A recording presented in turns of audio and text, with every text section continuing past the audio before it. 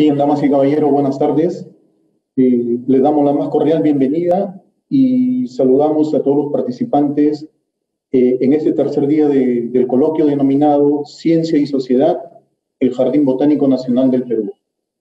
Eh, recordemos que este evento es organizado por el Consejo Nacional de Ciencia, Tecnología e Innovación Tecnológica, eh, CONCITEC, eh, por el Ministerio del Ambiente, el Ministerio de Cultura, Reino Unido en Perú, a través de la Embajada Británica en Lima, por el Consejo Británico en Perú y la Asociación Pro Jardín Botánico Nacional de Lima. El día de hoy voy a tener este, el gusto de, presentar pues, a, los panelistas, a los ponentes. Quien les habla es Manuel Charca Perravelo. Eh, yo soy doctor, en, docente principal de la Universidad Nacional de Piura. Eh, soy también este, autoridad científica del Ministerio del Ambiente de CITES en la parte de flora. Soy director de la unidad de investigación de la Facultad de Ciencias en mi universidad y voy a tener el gusto pues de esta tarde de poder facilitar un poco las cosas, ¿no? Ayer martes, 20 eh, de abril, tratamos sobre los pilares del Jardín Botánico Nacional, conservación e investigación. Bien, esto, entonces, eh, el día de hoy, pues, como decía, vamos a, tratar eh, temas también muy, muy importantes. Eh, el día de ayer se habló también un poco sobre esto, el jardín botánico, tuvimos eh, una nutrida, pues, participación de, de los ponentes, de los panelistas y también del público, ¿no? Se le recuerda al público que puede hacer sus preguntas a través de, del chat para ir viendo un poco las inquietudes y transmitirlas a los participantes. Hoy miércoles 21 de abril vamos a continuar con el tema Pilar del Jardín Botánico Nacional del Perú, eh, lo que es la parte de educación, cultura y sociedad. Para ello contamos también con destacados y renombrados expositores y panelistas. Eh, voy a ir presentando a los panelistas conforme van a ir exponiendo y si creen conveniente pues van anotando sus preguntas para cada uno de ellos. ¿no? Y también lo mismo vamos a hacer eh, con los eh, panelistas que están invitados el día de hoy. Bien, sin más preámbulo, presentamos eh, a Justin Mood. Él es investigador senior, líder del equipo de análisis espacial en Royal Botanical Gardens Kew del Reino Unido. Cuenta con más de 20 años de experiencia en el desarrollo de análisis espacial para proyectos académicos y de conservación en todo el mundo, es miembro del Comité de la Unión Internacional para la Conservación de la Naturaleza en la aplicación del análisis espacial para la conservación de plantas y hábitat. Tiene más de 20 años de experiencia en la gestión de proyectos de investigación y la supervisión de estudiantes y postdoctorados. Es autor de más de 40 artículos de investigación científica revisados por pares. Ha publicado cuatro libros, cuatro capítulos de libros también, numerosos informes y notas de prensa en medios de comunicación. Actualmente está involucrado en muchos proyectos en varios países, entre ellos pues Reino Unido, en Perú, Brasil y África, incluido un exitoso proyecto en Etiopía, a través del cual se está construyendo una economía cafetera adaptada al cambio climático, utilizando los últimos modelos climáticos y modelo de distribución para predecir el destino de Coffee Arábica, el café, en el futuro. Recientemente ha recibido financiamiento de la National Geographic, donde está aplicando las últimas tecnologías para acceder y obtener imágenes de la loma de Perú. Él nos va a hablar sobre ciencia en los jardines botánicos, valor e impacto. Uji and Justin. Thank you very much for that introduction. Muchas gracias por esta presentación. Thank you for that introduction and thank you very much for Muchas gracias por esta presentación y por invitarme a hablar el día de hoy. Es un privilegio hablarle a este grupo y también un privilegio el haber sido invitado por este gran grupo de políticos y científicos y demás personas que van a hablar ahora de mi trabajo y con respecto a Key Gardens y van a también a revisar algunos de los temas que he escogido para hoy. Yo soy un experto en esta área, soy un científico y he pasado la mayor parte de mi tiempo trabajando detrás de las escenas, eh, produciendo todos los resultados científicos que llevan a cabo o llevan de la mano los esfuerzos de conservación. Pero la ciencia tiene que ser aplicada también a la sociedad y ayudar a que la gente entienda qué es lo que pasa en el ambiente y que entiendan algunas de las cosas que ocurren y cómo pueden hacer estos cambios. Y esto tiene un gran impacto en la sociedad. Espero que podamos rescatar eso hoy y revisarlo. Entonces, para darles una idea de lo que vamos a ver, primero las percepciones que la gente tiene de las plantas, una de mis experiencias personales trabajando en jardines botánicos y el impacto que tiene eh, y la emoción que me causa. También una revisión de cuál es el impacto en la sociedad de los jardines botánicos y también un, un caso de estudio grande relacionado al café y al cambio climático y cómo puede causar un impacto este jardín botánico. Normalmente lo, lo, haríamos con una audiencia, pero bueno, acá podemos ver, por supuesto, aparte del, del animal, una gran cantidad de plantas atrás. Y esto muestra básicamente nuestra percepción. Vemos las plantas, pero no las prestamos atención. Vemos eh, simplemente las plantas como algo para usar, para comer, para usar. Es eh, gratis, están ahí para explotar, digamos no pueden eh, o no son relevantes para mí. Entonces, algo que tenemos que eh, superar en los jardines botánicos es que tenemos que incrementar el conocimiento de la gente que tiene y la percepción que la gente tiene de las plantas. Las plantas son importantísimas en Perú y probablemente tiene eh, una de las especies, o muchas de las especies más emocionantes del mundo. En el Reino Unido no tenemos muchas especies interesantes, pero Perú tiene un montón con muchas plantas que tienen un gran valor. El potencial del jardín botánico es el de también enseñar y permitir a la gente que entienda y explore qué son las plantas y el valor y el interés de las, las plantas. Tenemos que comenzar con las generaciones más jóvenes, la gente que va a heredar, el planeta de nosotros y vamos a poder ofrecerles el entendimiento y, y el placer de que entiendan qué es lo que ocurre en su paisaje, qué es importante y qué es importante para estas plantas, por qué importan. Y observamos la misión de Q, que es un buen lugar para comenzar en términos del contexto del impacto que Q puede tener en estos jardines botánicos. Nuestra primera misión en Q era entregar o desarrollar conocimientos científicos y soluciones para poder ayudar a la biodiversidad y su uso, recursos naturales, sostenibilidad, etc. Entonces, al entender la ciencia, la gente va a entender y los políticos podrían entender también el paisaje que cambia, que está en peligro y eh, inspiramos a la gente a entender también el trabajo, a proteger el mundo y eso es lo importante. Entrenar a las siguientes generaciones de expertos, porque hay tantos expertos en el área botánica. Hay tantos expertos que también se relacionan con eh, botánica y cómo se relacionan con la tecnología y demás y cómo pueden trabajar con nosotros para darle paso a la siguiente generación que va a estar cuidando el país. Tenemos que extender nuestro alcance, significa que no podemos continuar mirándonos únicamente a nosotros. No solamente producimos ciencia para nosotros, sino que nos extendemos hacia la sociedad, hacia los políticos, hacia los hacedores de políticas y las personas que tienen interés. Es influenciar a la opinión nacional e internacional para generar políticas. Y una de las partes importantes que, en las que trabajamos es tratar de cambiar el, el paisaje de la protección y poner a las plantas en el escenario central junto con los eh, animales, plantas y demás. Entonces, ¿por qué trabajamos en jardín botánico? Yo soy geógrafo en realidad y he pasado la mayor parte de mi tiempo mapeando el mundo, tratando de entender el mundo y trabajando en entender cómo funcionan las cosas. Pero trabajo en jardines botánicos porque me encanta trabajar con esta gente. Son colegas con los que eh, tenemos un gran entendimiento del paisaje y mi disfrute viene de aplicar mi ciencia a, esta gente que conoce su paisaje, conoce qué partes recolectar de los árboles, entienden que los árboles cambian el aire eh, y entienden cómo cambian el paisaje y mejor que yo seguramente entienden el paisaje, pero yo puedo utilizar mi ciencia, mi conocimiento para ayudarlos. Y esa interacción es la que me parece importante y me permite a mí también recibir un impacto y causar un impacto también en la gente. Entonces, para darles una visión rápida a algunos de los impactos que los jardines botánicos pueden tener en la sociedad, les voy a ilustrar esto con ejemplos. El impacto número uno tiene que ver con la conservación de las plantas.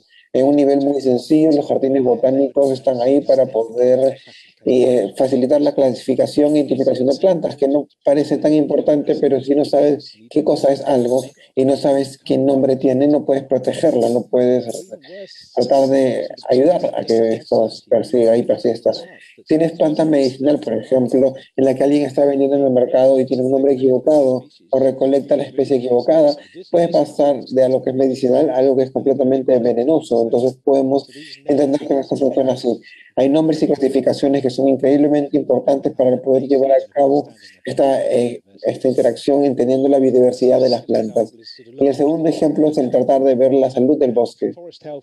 La salud del bosque es llevada a cabo por los árboles que están ahí, pero también la interacción que estos árboles tienen con la tierra y con los hongos es importante. Y tener un mejor entendimiento de esto y la interacción en sí de la planta que tiene con la tierra, con el hongo, puede ayudarnos a saber hasta dónde podemos tratar de ayudar, dirigir, concentrar nuestros esfuerzos, porque sabemos que existen productos para producción, etc. Entonces, el impacto de nuevo por los jardines botánicos pueden tener eh, es que el tener, por ejemplo, identificadas a las plantas y tener nombres es una cosa relativamente, y diría yo, más que relativamente, es increíblemente importante para cualquier persona en el mundo, cualquier persona eh, o cualquier planta que entre al Reino Unido y no sabemos qué es, lo llevamos a Q para llevar qué cosa es, para ver y identificar si es que puede causar un problema. Pero el nombre sirve para la industria de la salud también, porque la mayoría, o un porcentaje por lo menos importante, como el 40% de las medicinas provienen o tienen un origen en plantas. Entonces tenemos que descifrar qué son las plantas que tenemos, si son problemáticas de gestionar, si alguien quiere vender una cosa y luego resulta ser otra. Entonces esto puede ser eh, básicamente resuelto al tener identificadas las especies en nuestro jardín botánico. La educación y eh, tratar de concientizar a la gente.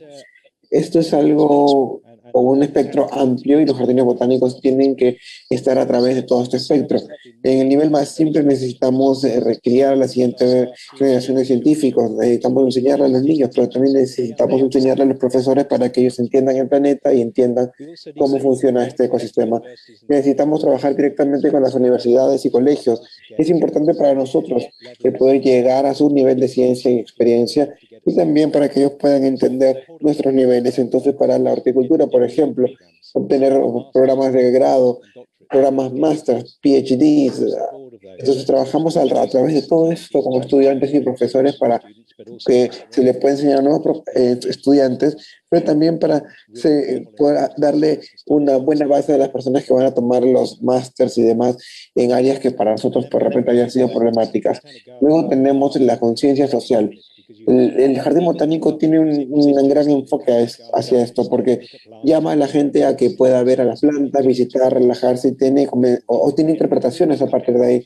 La gente comienza a tener más información. Por ejemplo, sirve para exhibiciones, resaltar un área, de repente para el café, como en lo que he trabajado, y también desempeño, festivales en el jardín, celebrar muchos. Hay que hay eh, festivales en el árbol de Oenga y somos partidarios de esto para poder eh, alcanzar a la gente más allá de los límites físicos del jardín. Esto a través de los medios sociales y los sociales y también a través de los medios principales del país. En el Reino Unido tenemos a la BBC para eh, películas y televisión, etcétera, e internacionalmente a través de todos los jardines botánicos y todas las universidades podemos identificar ese tipo de actores.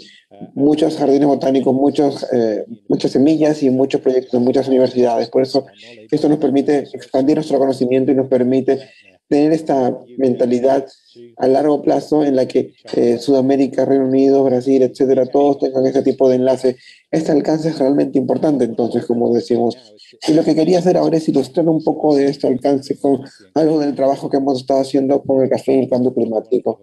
Probablemente van a querer tomarse un café después, estoy seguro. Estos son eh, granos de café, café arábica, que es la mayoría de lo que nosotros bebemos. Es una valla, como un frijol, le decimos nosotros, pero tenemos seis hechos del café que de repente no sabían. Y hay más de 100 millones o, más de un billón de personas globalmente que se respaldan en el café como un medio de vida, que es el 25% de Etiopía. es increíble este número solamente para respaldarse a una sola planta. Se dice que también el café viene después del petróleo. Y eso puede que sea una, hay una discusión académica ahí, pero el nivel que se tiene de comercio en esta especie de planta es increíble. El café arábica originó en Etiopía y el sur de Sudán. Sé que hay, son productores de gran café, pero vino primero de África. Y, no queremos ofender a nadie, pero sí queremos entender que es una amenaza para, está en amenaza de extinción debido al cambio climático. Y no, más del 90% tiene una diversidad genética que crece eh, en poblaciones más, eh, digamos, al, a la intemperie. Hay en realidad 124 especies de café alrededor del mundo y la mayoría de estas especies tienen o, bien, o tienen origen en Madagascar. Mientras que vemos que el café y las especies, eh, digamos, salvajes están protegidas, no pueden ser llevadas al espectro del banco de semillas. Entonces, esto es algo muy importante y encontramos actividades de este tipo difíciles. Hemos hecho mucha investigación para el café y Kew lo estaba haciendo ya por muchos años, pero en los últimos 20 años realmente ha insistido mucho con la última tecnología disponible y esto tiene que ver con la ciencia de Kew, pero también con la expectativa local que tenemos al trabajar con socios locales en Etiopía y en Sudán, que ya conocen sus plantas y saben cómo crecer sus plantas y entienden dónde están en el ambiente, pero también trabajan con horticultores para saber cómo van creciendo las plantas y cómo es que van a lidiar con las condiciones climáticas que pueden llegar a ser problemáticas. Dejando de lado toda la ciencia y todos los resultados de esta, podemos utilizar nuestro propio sistema de educación y medios para empujar el mensaje y hacer que el mensaje pase a los hacedores de políticas, al público en general también. Entonces, estas son las titulares para algunos de nuestros eh, encuentros o de nuestras discusiones principales. Y sabemos que el café arábica está en problemas. Tiene que ver con el cambio climático, es una especie de altitud muy eh, grande y, por ejemplo, no tenemos problemas de este tipo, pero el control de pestes eh, y enfermedades está costándonos un problema debido a que estamos, estamos expuestos a especies que no estamos expuestos antes. Luego también tenemos, estamos categorizados como en peligro de extinción, como ya habíamos hablado. Tenemos que el eh, 60% del genoma del café en sí, sus especies están en peligro de extinción. Entonces el grupo en sí de café está en peligro de extinción. Vemos que hay una pérdida de hábitat, especialmente en África, y la mayoría de especies está en Madagascar. A pesar de que hay 124 especies, todavía hay 40 especies, alrededor de 40 de las que no sabemos mucho y no podemos tomar una decisión informada sobre qué hacer con esta especie. Hemos recolectado algunas unas cuantas muestras, pero nada más. Entonces, buscar un grupo que esté bien estudiado es importante. Y 45% de las especies no están en ninguna colección. Entonces, no, son, no están conservadas de ninguna manera más que en la intemperie. Y esto tiene que ver de nuevo con la importancia de conservar y revisar y cuidar las especies que tienen pérdida o que tienen posible eh, peligro de extinción.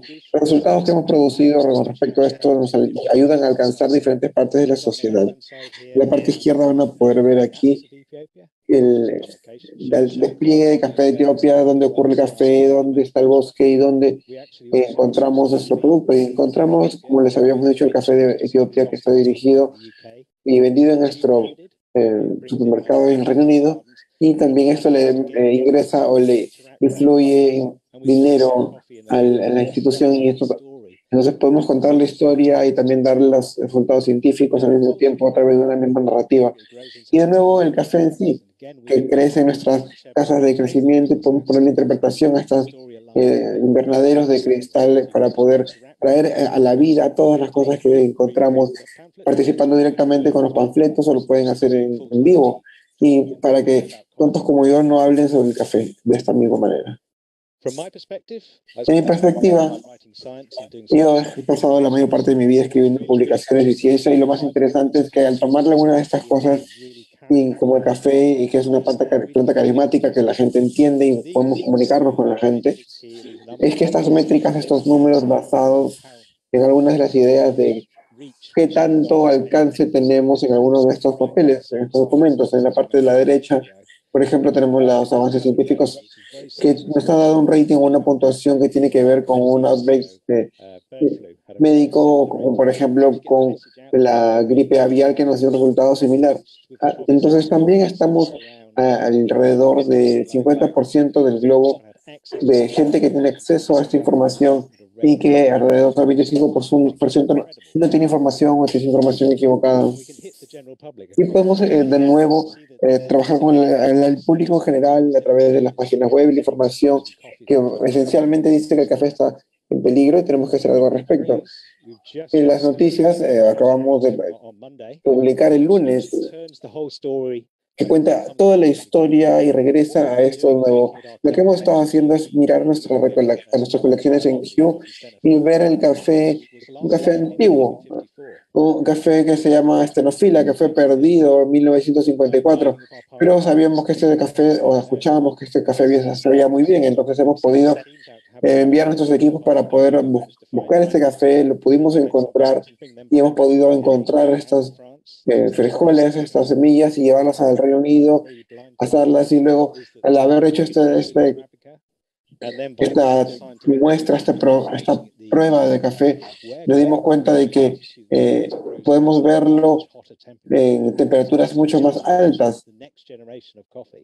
Es, eh, y, y, en cuestión de sabor, tiene un sabor superior al café regular. Toda esta información es información recopilada hasta el día de hoy, hasta el día moderno.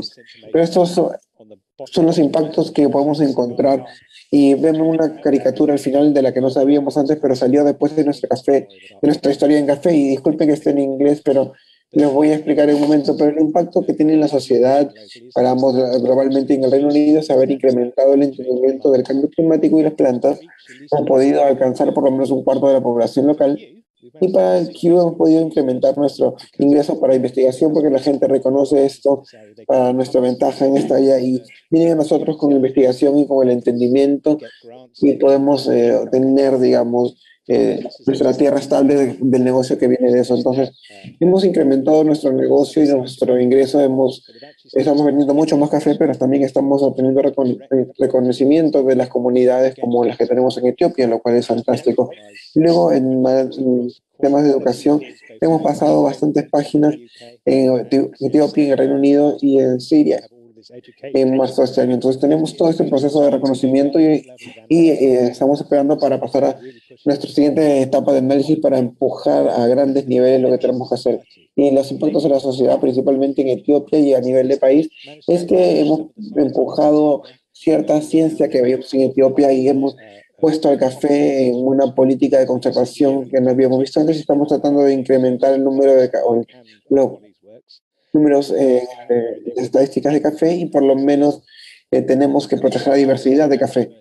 Esto lo hemos puesto en nuestra ruta de mapa para los siguientes 20 años y me parece que esto es lo que me inspira a mí, porque me permite ver ciertas cosas y analizarlas desde mi lado. Pero no solamente eh, está a este nivel o el nivel de los políticos, es importante, sino también hasta estar al nivel de las granjas.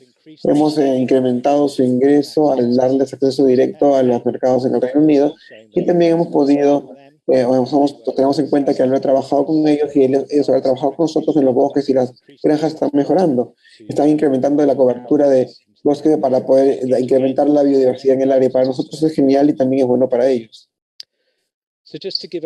Entonces, para darles un resumen muy rápido sobre dónde creo que debemos eh, impactar más, es que debemos participar a través de la, del directorio para profesores, científicos y comunidades industriales. Tenemos que inspirar, tenemos que inspirar la inspiración para las siguientes generaciones y para el público sobre el valor de las plantas. Tenemos que recordarle a la gente que estas son comida, son también cobijo y pueden ayudarnos a lidiar con el cambio climático, la inundación y nos está permitiendo tener acceso a esto y nos dan un bienestar. Y todos ofrecemos este tipo de... Entonces, muchas gracias, Tommy, y muchas gracias a todos por escuchar. Gracias a ti, Justin. Eh, muy buena intervención. Eh, en el chat veo que están preguntando por los, los trabajos que tiene Justin, ¿no? para, para ver dónde los pueden ubicar. Bien, eh, pasando a la otra conferencia, ahora tenemos eh, la presencia de Gabriela Orihuela. Ella es bióloga, educadora y comunicadora con estudios en restauración ecológica, diseño y gestión de áreas verdes. Actualmente es presidenta de la Asociación Pro Jardín Botánico Nacional de Lima. Eh, se encuentra desarrollando una maestría en conservación de recursos forestales en la Universidad Nacional Agraria La Molina, orientada al manejo de datos sobre la biodiversidad. Eh, Gabriela cuenta con 18 años de experiencia en el jardín de Fairchild Tropical Botanical Garden de Florida, Estados Unidos, y ha realizado unas 30 visitas técnicas a jardines botánicos alrededor del mundo. Es una apasionada por el bosque tropical y la riqueza de nuestra Amazonia. Bien, ella eh, nos va a hablar eh, sobre el tema de conservando y educando beneficios a la ciudadanía. Adelante, Gabriela. Gracias. Y buenas gracias, Manuel, y buenas tardes con todos. Em, voy a compartir mi pantalla, me avisa si se ve bien. Perfecto. Bueno, muchísimas gracias. Eh, el día de hoy estoy representando a la Asociación Pro Jardín Botánico Nacional y voy a compartir un poquito eh, la experiencia que he tenido trabajando en el Jardín Botánico de Fairchild Tropical Garden en los Estados Unidos y quiero contarles cómo fue mi, mi viaje y mi conexión con la gente. Eh, un poquito de mí, eh, yo soy bióloga y solía trabajar en la selva hace, no le voy a decir en qué década, pero hace muchos años. Y yo estaba conectada con la naturaleza y con un grupo de animales. Yo estudiaba primates, comportamiento de primates, comportamiento de alimentación. Y así fue como me conecté, porque todo el mundo me pregunta, ¿cómo llegaste a las plantas? Porque conocían que trabajaba con ratones, con murciélagos, con monos y de repente llegué a las plantas. Llegué a las plantas porque yo le dedicaba 12 horas al día a seguir a las tropas de monos y a encontrar qué estaban comiendo. Pero yo no tenía ni más remota idea de qué especies comían. Entonces me volqué a los herbarios, a marcar los árboles, a tomar muestras de plantas y a preguntarles a mis amigos botánicos qué es lo que estaban comiendo, ¿no? Ese fue mi primer acercamiento. Pero luego llegué a ese lugar donde todo era verde y pude entrar en el herbario. Ayer hemos tenido al profesor Reinel, eh, también que trabaja en el herbario con todas esas colecciones y ese valor que hay en los herbarios y se abrió otro mundo para mí.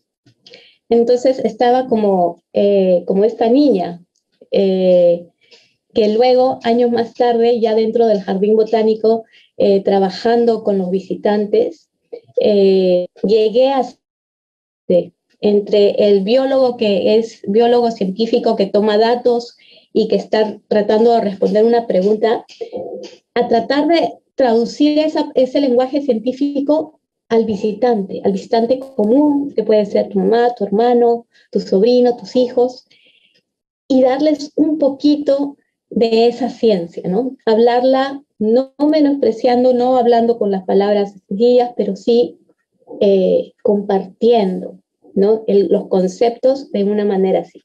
Esta niña que ustedes ven acá, y con esto quería abrir, es una niña que en el momento que le estaba contando eh, sobre la fruta que tiene en la mano, no sé si la pueden ver, ya tal vez ustedes ya la identificaron, y cuando les dije que el chocolate venía de esa fruta, sus ojos se abrieron y, me dijo, no, no puede ser el chocolate, el chocolate no viene de la tienda, ¿no? Esa conexión, ¿no? Y tener por primera vez en sus manos una fruta que les decía que, que, era la fuente de su eh, eh, caramelo favorito, ¿no?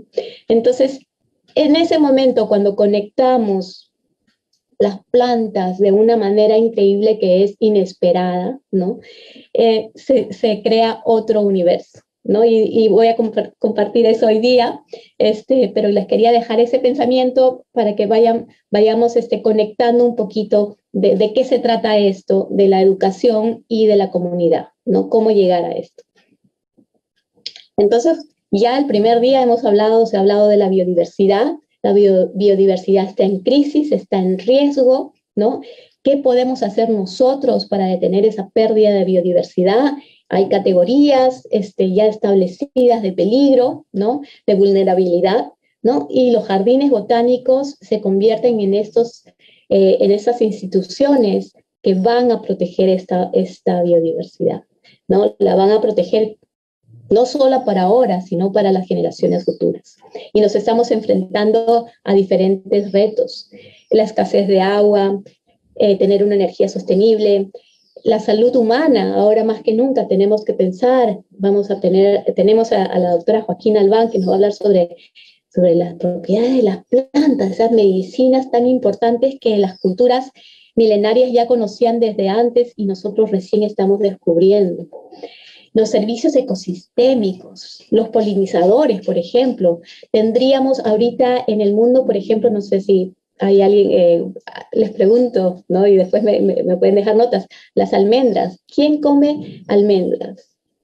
Ustedes sabían que las almendras necesitan un polinizador a la abeja, este, 100% dependiendo de la, de la abeja. Si no hay abejas, no hay almendras.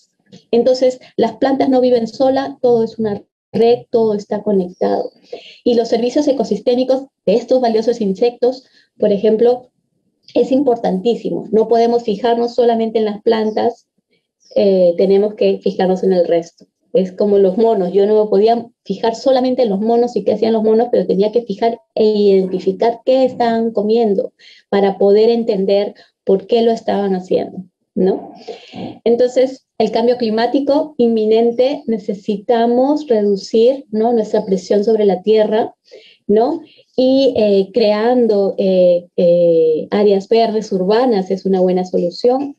El jardín botánico puede representar una de estas, una de estas áreas en nuestra ciudad. Necesitamos incrementar el área, el metro cuadrado de áreas verdes, que estamos bajísimos, ¿no? Con lo que pide la ONU, que son este, más de 9% de área, 9 metros cuadrados de, de, área que se necesita, estamos como 2.5 aproximadamente. Y, este, y todo esto, ¿para qué? Porque un muy, buen punto que se ha tocado en los dos primeros días es, es, la economía, ¿no? Este, alguien podría decir, ¿por qué nos vamos a fijar en las plantas si no estamos, eh, o en un jardín botánico, si estamos con la necesidad, tenemos hambre, ¿no? Hay la necesidad como nación de, mejorar la alimentación. Y es justamente este centro, este centro de investigación, de conservación y de educación que se va a dedicar a las plantas de una manera que va a resolver y esperamos que resuelva la hambruna mundial.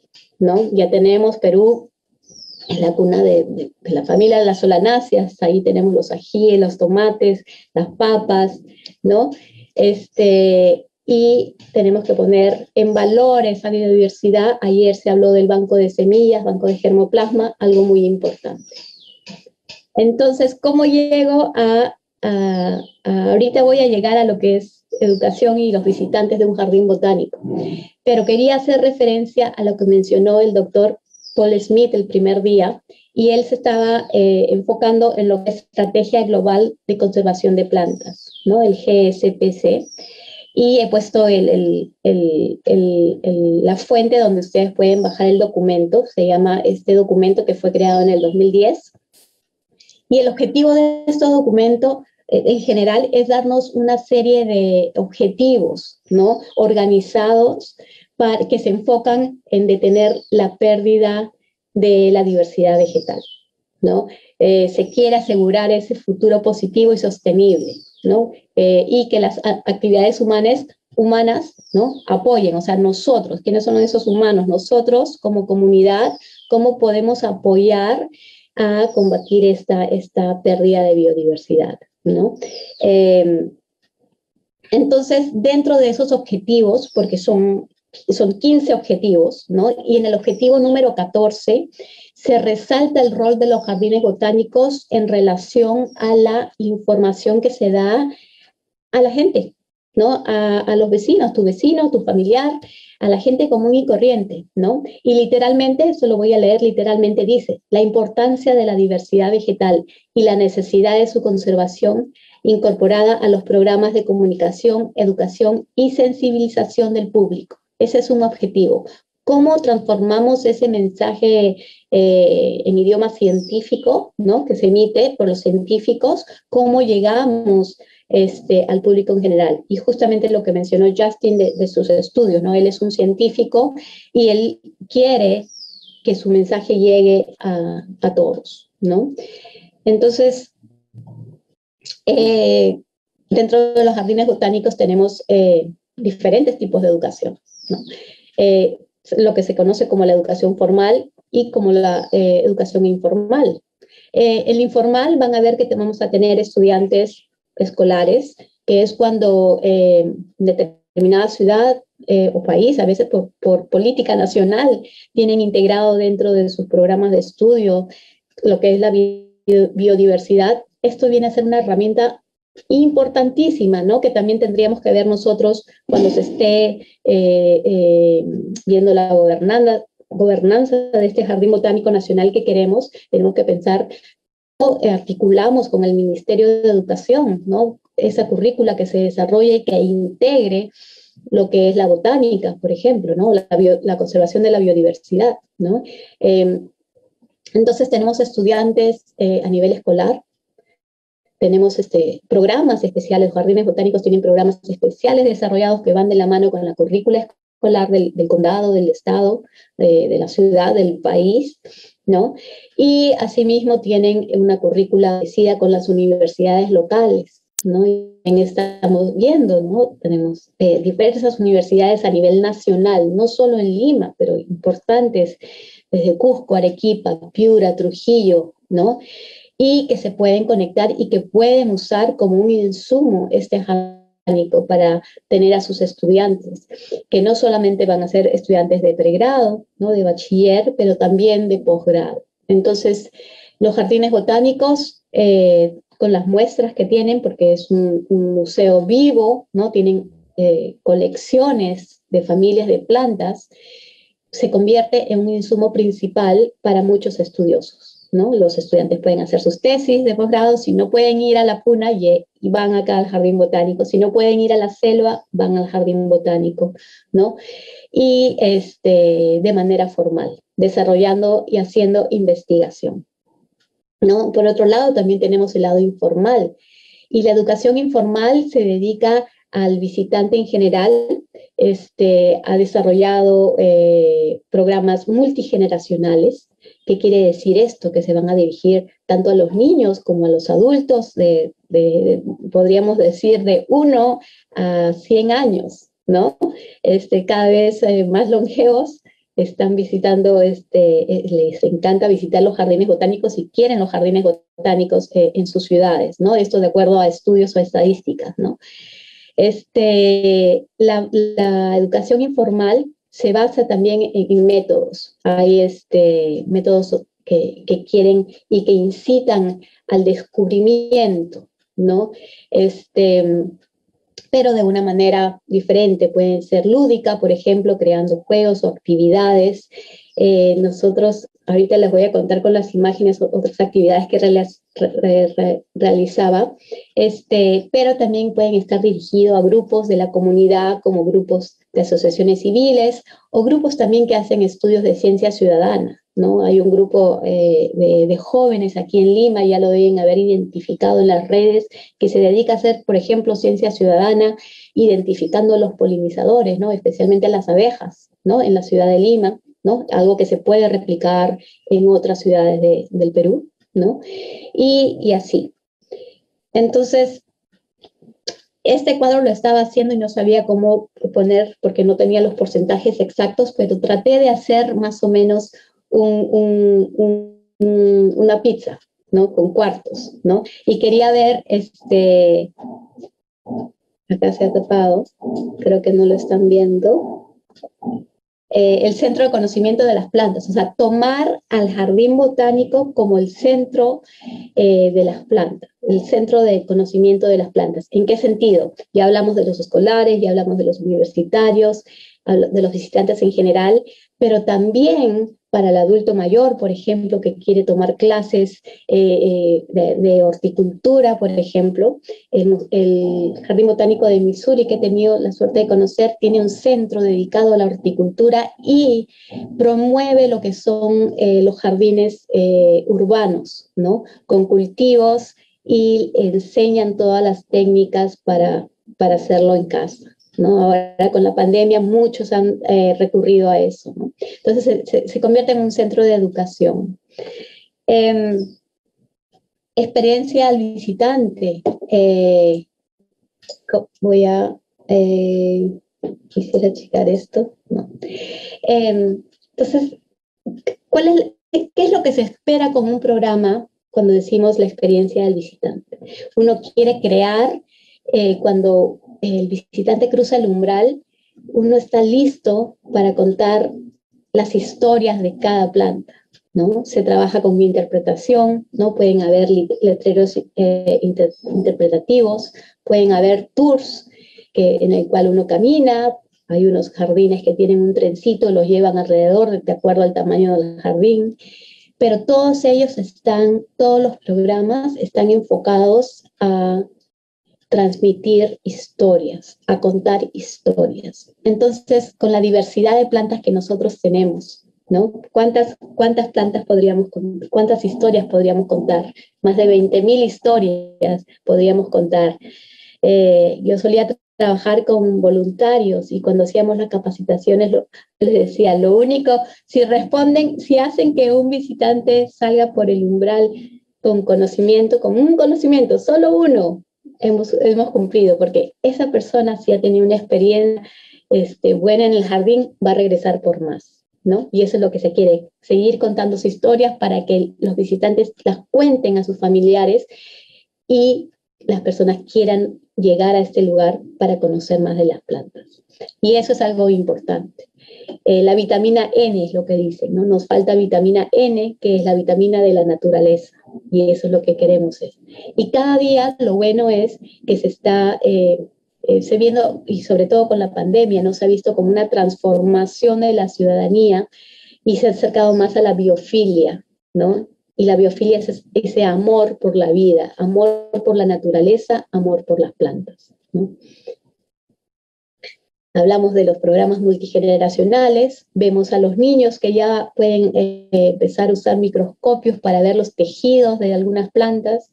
Vemos aquí, y esto no sé si está impidiendo esta barra, este, vemos a una niña con tan solo un añito, un añito o dos añitos, me parece que tenía, tratando de sembrar una semillita para ver la planta. También eh, familias enteras que llegaban a conocer otros componentes del jardín botánico, por ejemplo las aves, ¿no? que están interrelacionadas, esas interacciones planta-animal eh, eran muy interesantes, ¿no? venían a aprender.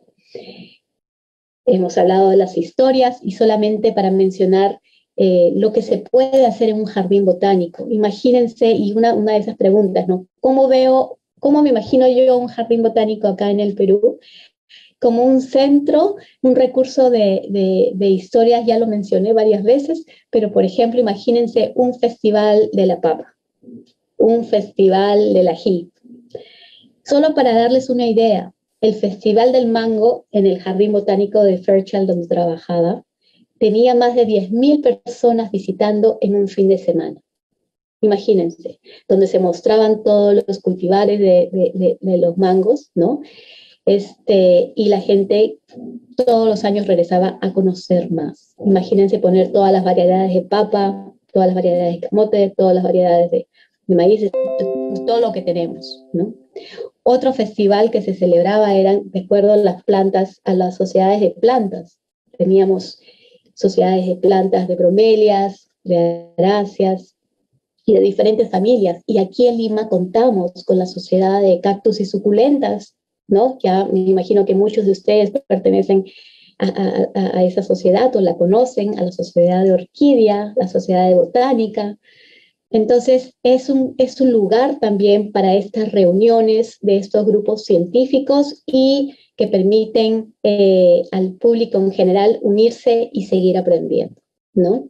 Tenemos tours especializados Este, aquí este tour era un tour sensorial y en la foto, no sé si lo ven aquí, en la foto vemos a este señor acercándose y él iba a tocar esa zika, ¿no? Con sus hojas puntiagudas.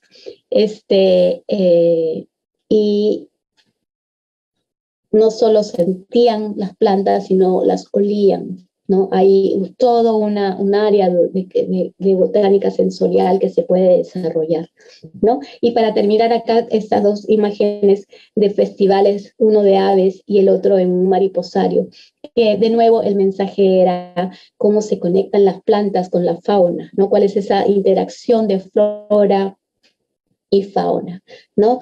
Son lugares, es un lugar de, de aprendizaje.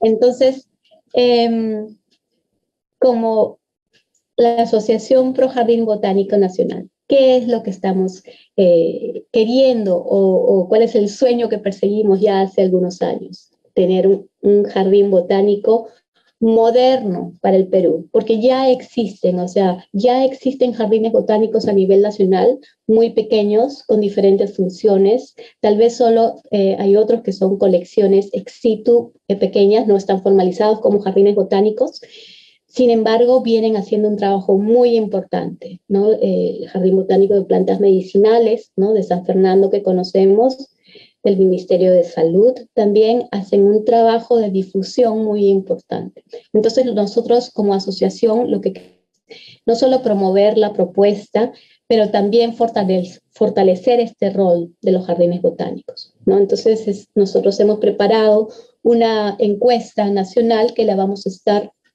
enviando y me olvidé poner el correo electrónico, pero para que nos escriban y nosotros, este, después lo voy a poner en, la información, para que nos escriban porque necesitamos conocer esas colecciones eh, y jardines botánicos del Perú que están trabajando ya eh, por, eh, en la lucha de la crisis de la biodiversidad, de pérdida de la biodiversidad. Eh, y es así que queremos formar o crear una red nacional de jardines botánicos. El día de mañana ustedes van a estar escuchando una charla de Noelia Álvarez del BGCI y ella nos va a dar un ejemplo de lo que, son, lo que es la red americana de jardines botánicos. Y esa es la idea, cómo nos conectamos entre nosotros para alcanzar a diferentes recursos, ¿no? Y en, bien de todo. Yo creo que un jardín botánico nacional, esa es la misión que va a cumplir también de conexión. Va a ser un catalizador para que diferentes este, organizaciones se unan a nivel nacional. Eh, y también, bueno, promover, queremos promover ver las eh, actividades educativas, ¿no? A diferentes niveles, estamos, tenemos información para las personas que quieren, para los estudiantes que quieren eh, llegar un poco más a lo que es un jardines botánicos, se necesita eso. Ayer justo mencionaba, ¿no? Esa especie en peligro de extinción que es el botánico. Necesitamos más botánicos en el Perú y tenemos mucha, mucha diversidad. Hay temas de tesis por todos lados. Le pueden preguntar al profesor Reinel de la Agraria, que estuvo con nosotros. Él siempre tiene un tema de tesis, ¿no? Eh, para hacer, para desarrollar. Y bueno, también estamos generando herramientas, herramientas en este momento para ayudarlos a crear ese jardín botánico que ustedes necesitan o que quieren. ¿no? Ha hecho una matriz de valoración eh, de terrenos eh, eh, específicamente para jardines botánicos. ¿no? Se quiere llegar a que eh, dar los, em, compartir las características y los atributos de estos, de, de, lo que requiere un jardín botánico. ¿no? Hemos creado esto y ya a fin de mes Estamos este, con el Colegio de Arquitectos de Arequipa, que nos han invitado a presentarla. El ingeniero Manuel Fernández va a estar ahí compartiendo esa información. Y eso es lo que queremos, que esto sea una herramienta de acceso abierto, de que la puedan utilizar y de que se pueda eh, seguir dando eh, la creación de jardines botánicos. Eso es lo que queremos para el Perú, eso es lo que queremos para la, para la biodiversidad y seguir eh, conservando. Muchas gracias. Acuérdense de esta niña. Queremos sorprender con esas historias. Queremos que el Jardín Botánico esté contando más de 20.000 historias a todos sus visitantes. Muchas gracias. Muchas gracias a ti, Gabriela. Eh, muy buena exposición, te felicito.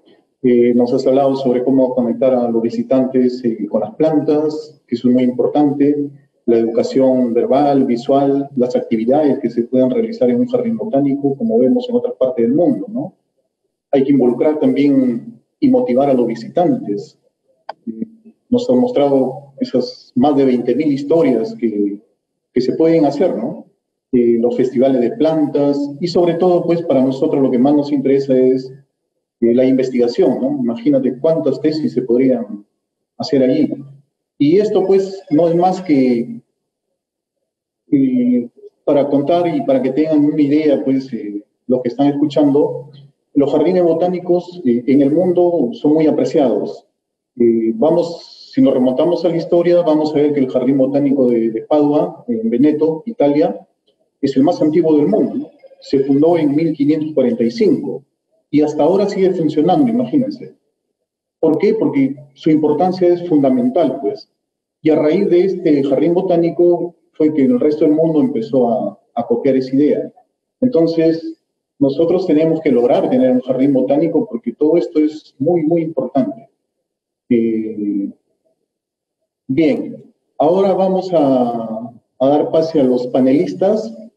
Eh, como les digo, el público puede hacer sus preguntas a través del chat y eh, vamos a presentar a los panelistas que nos van a ir hablando también y le vamos a ir haciendo algunas preguntas. tenemos con nosotros a Oliver Whaley, él es investigador honorario del Royal Botanical Gardens de Kew y del Royal Botanical Garden de Edimburgo. Es presidente de la ONG del Rainforest Concert y comisario del Chase Africa. Trabaja en restauración y conservación en países andinos y creación de hábitat del Reino Unido. Es botánico, ecólogo y entomólogo apasionado por el mundo natural y también con educar a la gente sobre la naturaleza. Lleva 25 años trabajando e investigando en Perú. Fue camarógrafo en la serie Candamo de 1995 y luego de ello se enamoró del bosque seco y las lomas de la costa del Pacífico. También tenemos a la autora Joaquín Albán, actualmente es jefa del Departamento de Etnobotánica y Botánica Económica del Museo de Historia Natural de la Universidad Nacional Mayor de San Marcos. Tiene unas 160 publicaciones entre artículos, libros, capítulos de libros relacionadas con la etnobotánica, la taxonomía de plantas vasculares, en particular de aquellas relacionadas con el uso por el hombre peruano.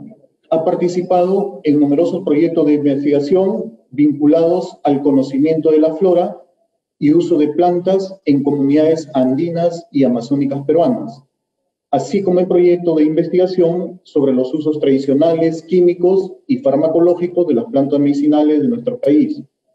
Como parte de sus actividades en el Museo de Historia Natural, ha organizado la colección de plantas útiles del Perú y digitalizado la colección de tipos del herbario de la Universidad Nacional Mayor de San Marcos. A la fecha, ha colectado unos 20.000 especímenes de la flora peruana, de los cuales el 60% de estos contienen información cultural asociada a la población local.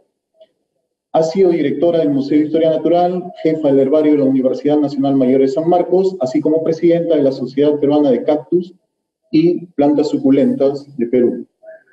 También contamos con la presencia de Malena Martínez, eh, Malena es médico de profesión, directora del Mater Iniciativa, brazo de investigación de alimentos para el diseño de conceptos culinarios con identidad, como son el central, eh, el courge, que es una palabra quechua, ¿no? Qué bonito, vean ese nombre, eh, que es la, la la budleja, que está en la sierra, es un árbol, un arbusto que crece en altitudes muy altas de la Sierra Sur y también del Mayo en Lima y MIR en Cusco. Dirige la ejecución de proyectos en diversas áreas, arte, cultura, cocina y academia.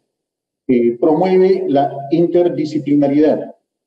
Es coautora de varias publicaciones y libros como El Central, del editorial Feidon, el catálogo Mater, eh, del editorial Edítalo, y próximamente eh, van a salir sus libros, El Mil, que se va a publicar en septiembre, y el gran libro la cocina latinoamericana, que también va va a ser publicada por Feidon en octubre de este año. También tenemos la presencia de Sisi Haman. Sisi es socióloga e historiadora del arte, magíster en filosofía con experiencia en docencia, investigación, gestión académica y cultural. Lleva más de 10 años dedicados a la enseñanza escolar y universitaria en temas relacionados a las artes visuales y a la gestión de proyectos culturales y el desarrollo a través de las artes.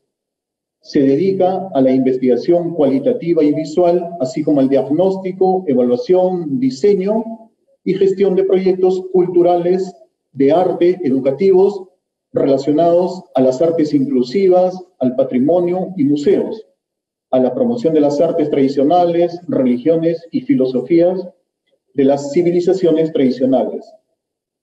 Como ven, el día de hoy pues contamos con un selecto grupo de personalidades que eh, van a ser de panelistas y a quienes le vamos a hacer eh, algunas preguntas. Empezamos eh, con Oliver Whaley y la pregunta para él es, vamos a hacerle dos preguntas, primero una y luego la otra, ¿sí? Una cada uno y volvemos a la segunda ronda. Entonces, para Oliver ¿cómo hacer para que el Jardín Botánico Nacional de Perú tenga una vinculación estrecha con la sociedad? Esa sería la primera pregunta para Oliver. Muchísimas gracias. Eh, muchísimas gracias. Gracias en realidad a todos para invitarme a participar en esto. Es un gran honor siempre compartir, especialmente este día con tanto gente talentosa y, y innovadoras. Debo decir que María Angélica Matarazzo ha sido una enorme inspiración para mí, involucrando en el Jardín Botánico de Perú y el país y las personas que amo con tanto, con todo mi corazón en realidad.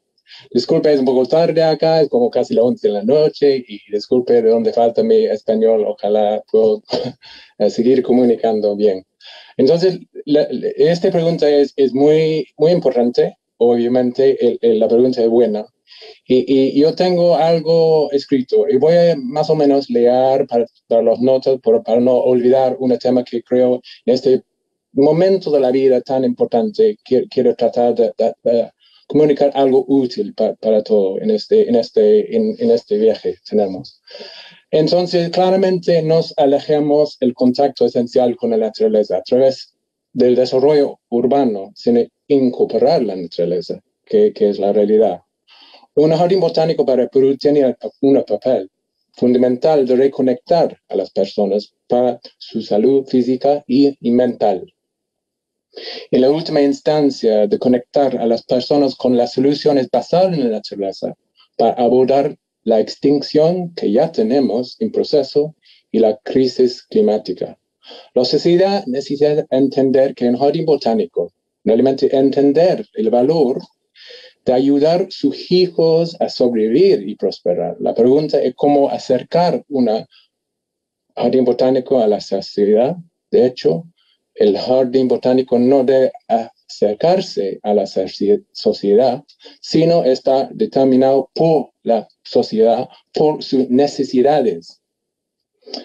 Entonces, ¿cómo ayudamos como otra parte del mundo? ¿Cómo, cómo podemos ayudar? En muchos sentidos, las, sentidos, la sociedad está bien integrada en el concepto del jardín botánico en, en Reino Unido. Este no es sorprendente, ya que Kew y Edimburgo tienen una edad combinada de 600 años, 600 años, con una gran experiencia de compartir. Pero no es necesario tener 600 años, desarrollar un jardín botánico. Pero en Escocia ya tenemos el jardín botánico eh, de Edimburgo, los botánicos. Eh, y, y, en Inglaterra eh, parte del Reino Unido, tenemos Kew, el Jardín Botánico de Kew. Y en Gales, de donde yo conozco muy bien, de donde vive, vive mi padre, el país Gales, tiene un Jardín Botánico Nacional de Gales, creado recién en el año 2000 y hoy día es una experiencia extraordinaria. Del mismo modo, el proyecto Eden, también establecido en 2000, año 2000, han construido mil millones de libras a su región de Cornwall y más de un millón de visitantes en 2019. Entonces uno puede imaginar el impacto educativo en la sociedad se propagar a través de todo y porque los habló hoy día yo. Es un resultado de mi visita a Q hace 53 años atrás.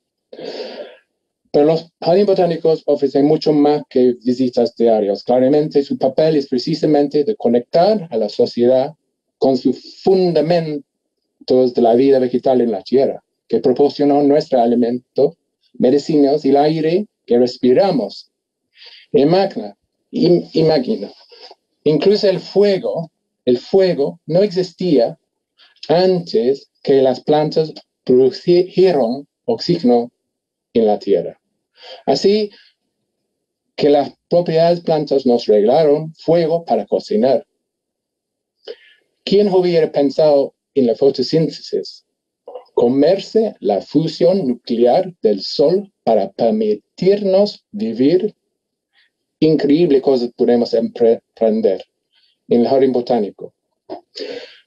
Por lo tanto, el jardín botánico es la piedra de toque, algo fundamental para la educación sobre las plantas por los que hoy son capaces de abordar los principales problemas de nuestra, nuestro tiempo. Por ejemplo, la necesidad en Perú de apagar los incendios provocados por la pandemia. El jardín botánico debe conectar a las personas, la sociedad, para adaptarse al cambio climático, conservar las lomas, el pantanal, las reliquias del selva, las quinuales de polilepes, guarangales, los cerros, como dije, Dijo Carlos, la extinción en Perú, como acá, está en todas partes, como un fuego. La gente regresando eh, a sus tierras están abriendo para sembrar y quemando y pasando en todo el mundo. Falta de educación. Entonces, solo quiero decir que, la, gente consciente, la política mueve y las finanzas fluyen con una gente eh, consciente. El pueblo son el motor de la política, siempre debemos recordar. Esta fue mi experiencia muy claro para mí en 1995, ayudando con filmando y, director de arte de parte de Siria Candamo como cinematógrafo. Finalmente, en las raíces establecidas de Kew y Edimburgo estaba la comida, la medicina y el Perú es origen de muchas de las especies importantes, sabemos. Cacao, tomate, papa, quinoa, tarwi, achira, caigua, pacay, payales y todo domesticado hace miles de años, y en, en varios casos hasta más de 5.000 años. Y la lista continúa. Así la sociedad es conectada con el jardín botánico en cada comida, cada, cada boca, que, que maravillosos, que maravillas son. Y, no debemos olvidar que QE y Edimburgo tiene cientos de voluntarios, así como también 350 miembros del personal de ciencias, pero con 150 voluntarios. Entonces, voluntarios son muy importantes para nosotros. Y, en, este caso, conectando visitantes de más de 100.000 niños que visitan cada Q cada año, y los investigadores, estudiantes, finalmente, ayer una señora de Puno preguntaba por el almacenamiento de semillas de papa y quinoa. Escuchamos sobre el banco de semillas en Colombia. Sin embargo, Chile tiene un extraordinario banco de semillas que conozco muy bien, nativas, respaldado por el, el, Millennium Seed Bank, parte del Q. Los bancos de semillas son algo que las comunidades rurales de Perú hacen todos los años, hace miles de años. Y debimos eh, debido al cambio climático, es posible que necesitan almacenar, eh, semillas por más tiempo. Es establecido en un banco, es el establecimiento de un banco de semillas en Perú. Es algo que puede servir la biodiversidad y las personas en el primer paso, esencial. No necesitamos mucho espacio. El jardín botánico que se puede tomar rápidamente y involucrar a todos, todos, hemos aprendido mucho en experiencia de 40 años de bancos de semillas en Q, pero es una excelente manera de, de reunir todos los, los, los, gente en, en, una gran colaboración. Eh, este es más o menos que como yo creo es importante que eh, eh, es, estamos hablando más que acciones que palabras. En el mundo hay muchas palabras, pero ahora podemos hacer algo y, establecer un banco de semillas, si yo conozco en NIA y, y, todos los bancos de semillas muy importantes, Perú, de los agricultura, pero estamos hablando de todos los miles de especies uh, de las plantas silvestres. Muchísimas gracias. Gracias a ti, Oliver. Muy buena tu participación. Eh, ahora eh, le toca la pregunta a la autora Joaquín Albán y para ella pues eh, le vamos a, a, decir de qué manera se podría revalorar los conocimientos tradicionales asociados a la diversidad a través del Jardín Botánico Nacional del Perú.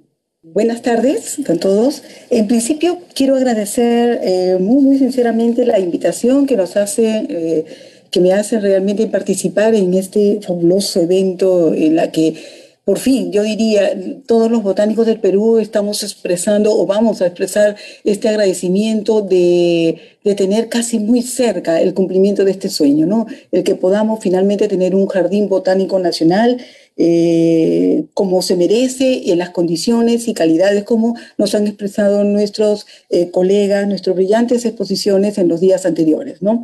Asimismo, estas presentaciones anteriores, tanto del doctor Justin como de Gabriela, eh, muy inspiradoras, eh, muy centradas realmente en nuestra temática vinculada con la educación, cultura y sociedad, nos abren todo este panorama de que realmente ya hay un eh, claro entendimiento de las cosas que eh, se están haciendo eh, en otras partes del mundo y cómo nosotros podemos reforzar.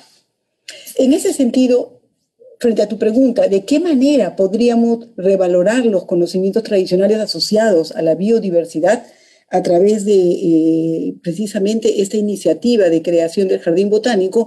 Yo diría que realmente em, tenemos que empezar esta temática eh, primero entendiendo claramente la importancia de lo que eh, es la revalorización, eh, el entendimiento de la relación de lo que viene a ser los conocimientos de todas nuestras culturas ancestrales, la el reconocimiento de que existen personas tan eh, importantes en cada sociedad peruana, que son precisamente estos arquetipos de la sabiduría tradicional, ancestral, y que muy pocas veces les hemos dado la importancia que ellos se acreditan, ¿no? Y gran parte de estos eh, arquetipos, que en nuestro contexto son nuestros llamados curanderos, han sido muchas veces representados históricamente a través de nuestras diversas culturas peruanas, como la mochica, chimú y otras, ¿no? Entonces, eh, por ahí realmente debemos empezar a reconocer este gran valor que tienen estos personajes, eh, nuestros curanderos, que como yo les digo eh, realmente a mis estudiantes en clases, cada vez que sabemos que un amigo curandero, un señor curandero de alguna zona del lugar en el Perú se muere, sentimos realmente que prácticamente es, podemos realmente asemejarlo como el incendio de una biblioteca. ¿no? Definitivamente porque es un gran valor, mucha información que ellos poseen y que no, no precisamente hemos logrado rescatar en toda eh, su extensión. Entonces, eh, la pregunta ¿por qué? ¿Por qué conservar estas, eh, este, estas plantas que tienen todo un contexto dentro del uso tradicional de los recursos? Yo diría que hay varias explicaciones y probablemente solamente voy a decir aquí unas cuatro, ¿no? Por la presencia eh, y por la existencia de esta erosión cultural, esa pérdida acelerada del conocimiento tradicional que bien conocemos realmente se está dando en todo nuestro país, en nuestras diferentes sociedades, tanto andinas como amazónicas, y que eh, pues sabemos que precisamente estas se encuentran en un acelerado proceso de eh, aculturación, ¿no? Comunidades que se encuentran sometidas a, continuos procesos realmente de aculturación. Otra importante razón realmente por la que debemos revalorar y conservar estos, este conocimiento de uso tradicional de nuestros recursos es esta erosión biológica que también ya ha sido incidida realmente por varios de nuestros expositores en los días anteriores y hoy día mismo, eh, puesto que esta degradación de los bosques primarios y la presencia, como decimos, del humano en todos estos lugares ha originado la pérdida de mucha de esta riqueza eh, vegetal, ¿no? asociada al uso de un recurso y que ya no los vamos a encontrar definitivamente en el, futuro. Y de hecho tenemos evidencia de varios de estos eh, elementos. Eh, otra razón realmente por las cuales realmente debemos conservar es porque también evidenciamos esta escasa información ecológica existente sobre la distribución, abundancia y diversidad de las plantas, particularmente en el caso de las medicinales en nuestro país, que existe realmente en torno a eso, a pesar que sabemos precisamente del alto comercio que existe particularmente de este grupo de especies. Y asimismo podemos también decir que otra razonable, importante razón viene a ser este enorme vacío de información sobre este grupo de plantas y el, eh, y el impacto que causa precisamente estos vacíos de información asociadas a la extracción de ciertas plantas, especialmente este grupo de plantas medicinales, alimenticias, eh, y que eh, y de las cuales aún desconocemos precisamente toda la dinámica eh, de las poblaciones en estas, de estas especies en el entorno de sus eh, ambientes naturales. ¿no? Entonces, ¿de qué manera podemos, volvemos a nuestra pregunta inicial, ¿de qué manera podemos revalorar estos conocimientos tradicionales y, y expresarlos a través de este jardín botánico eh, que queremos realmente tener eh, finalmente en nuestro, en nuestro ámbito. Eh, yo creo que ya tenemos varias experiencias de distintos proyectos realizados en el Perú, ¿no? tanto a nivel de las distintas universidades como ONG, por lo cual eh, eh, podemos decir que ya hay un levantamiento de información de cuáles son estas especies que están en el entorno de, de, de, distintos eh, grupos o comunidades, tanto andinas como amazónicas, y que nos permite tener por lo menos una idea clara de cuáles son las especies que realmente deberíamos de conservar, ¿no? Y con ellos, por ejemplo, tenemos algunos proyectos relacionados con la transmisión y transformación de los conocimientos ambientales, otros vinculados al conocimiento del uso de, los, de las plantas medicinales en distintas comunidades amazónicas especialmente. En fin, e incluso eh, varios de los artículos vinculados a la etnomedicina de los mercados, ¿no? un, un tema realmente que eh, ya contamos con relativa información sobre estos elementos. Entonces, tenemos este tipo de información que ha sido recolectada eh, utilizando realmente protocolos de investigación eh, con, el, eh, con esta característica particular de cómo tenemos que hacer las investigaciones etnobotánicas en nuestro país, ¿no? investigaciones que eh, han mantenido cierto estándar en el registro de la información a través de las caminatas, de la, de, la muestra de, las, eh, eh, de referencia o de los mismos encuestas que se han logrado levantar. Y por ello realmente considero que plantas tan emblemáticas como conocidas en el mundo eh, en el mundo, como por ejemplo los, eh, las especies de sangre de grado, a las cuales ahora tenemos una mejor claridad de cuáles son las especies que verdaderamente son consideradas como eh, las especies de Croton, que efectivamente son las especies medicinales y que son consideradas como la sangre de grado para el Perú o del mismo árbol de la quina, de las cuales pues venimos haciendo varios trabajos y definiendo la claridad realmente de las especies que nos permite tener en este contexto, ¿no? Entonces, eh, definitivamente eh, una de estas maneras, eh, estoy entonces de acuerdo con mucho de lo que, aquello que refirió el doctor Reinel sobre la importancia de la difusión.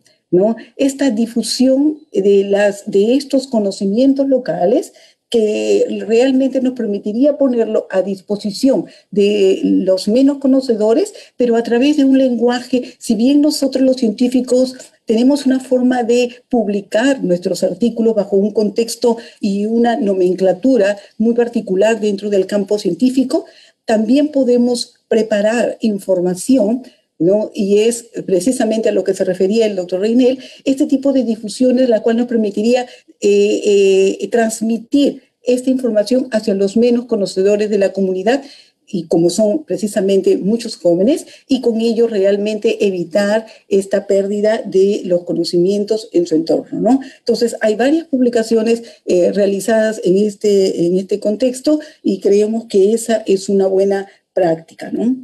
Y otro de estos elementos, eh, quiero asociarlo a esto que precisamente Gabriela ya nos había comentado y me parecía tan interesante em, eh, lo que nos manifestaba, y, era eh, realmente la, presentación, por ejemplo, de talleres, ¿no? De talleres a las cuales precisamente podemos organizar dentro de los jardines espacios de, conversación a los niños especialmente y transmitir estos conocimientos de cómo el hombre peruano ha venido utilizando los recursos y resulta ser algo muy educativo, ¿no? Y por supuesto, también a través de las distintas exposiciones, que a nivel del uso de plantas del Perú, pues eh, nuestra riqueza es fantástica, ¿no? Yo dejo esta parte para eh, quizás la segunda pregunta eh, que viene adelante para reforzar mucho más este aspecto. Gracias, Manuel. Gracias a ti, Joaquina. Muy buena respuesta a la que nos acaba de comentar. Bien, ahora eh, la pregunta va dirigida para Malena Martínez y a ella le vamos a preguntar de qué manera el Jardín Botánico Nacional de Perú podría contribuir a la identificación y revalorización de los insumos provenientes de la biodiversidad nativa útiles para la gastronomía.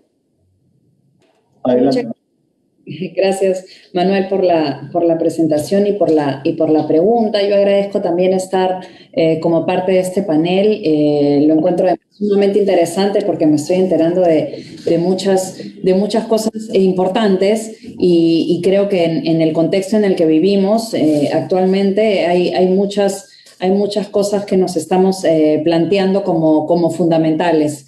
Y entonces agradezco la invitación porque soy de gastronomía y de repente algunos pensarían que no necesariamente están vinculados el, el, desarrollo del, gran proyecto de un jardín botánico con eh, alguien que dirige una organización que se vincula a un restaurante. Pero bueno, eh, les cuento un poquito más de lo que nosotros hacemos para que de pronto se entienda por qué, por qué me convocan.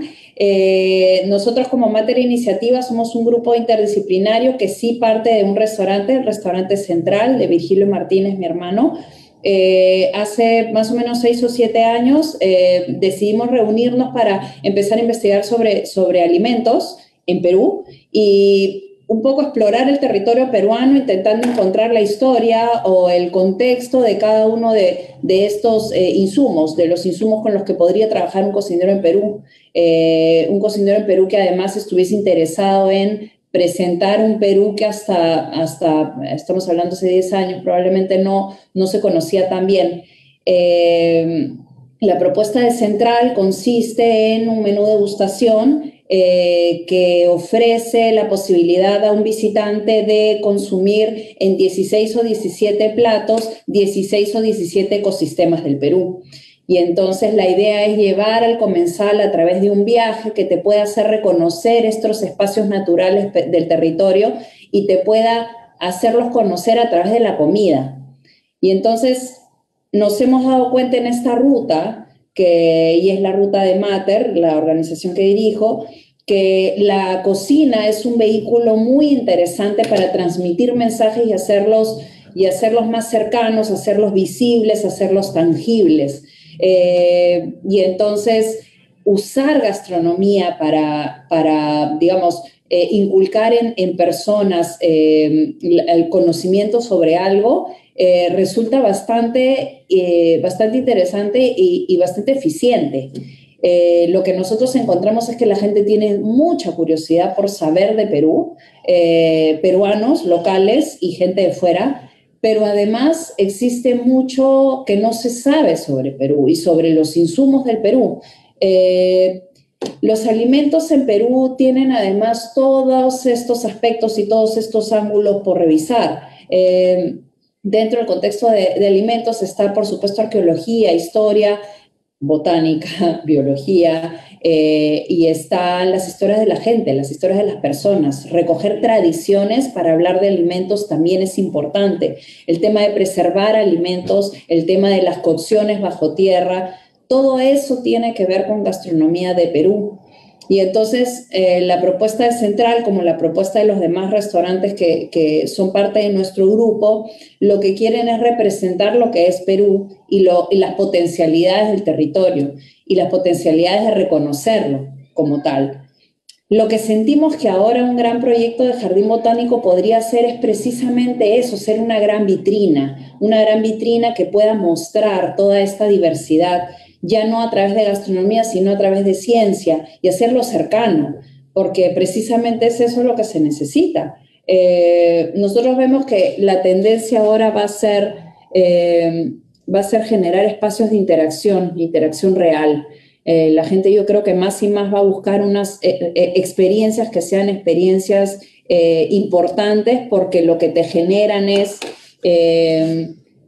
ser una persona nueva a través de que las tienes, a, partir de que, de que experimentas esto, ser una persona nueva, ser una persona cambiada porque tienes un nuevo conocimiento que te hace ver las cosas distinto.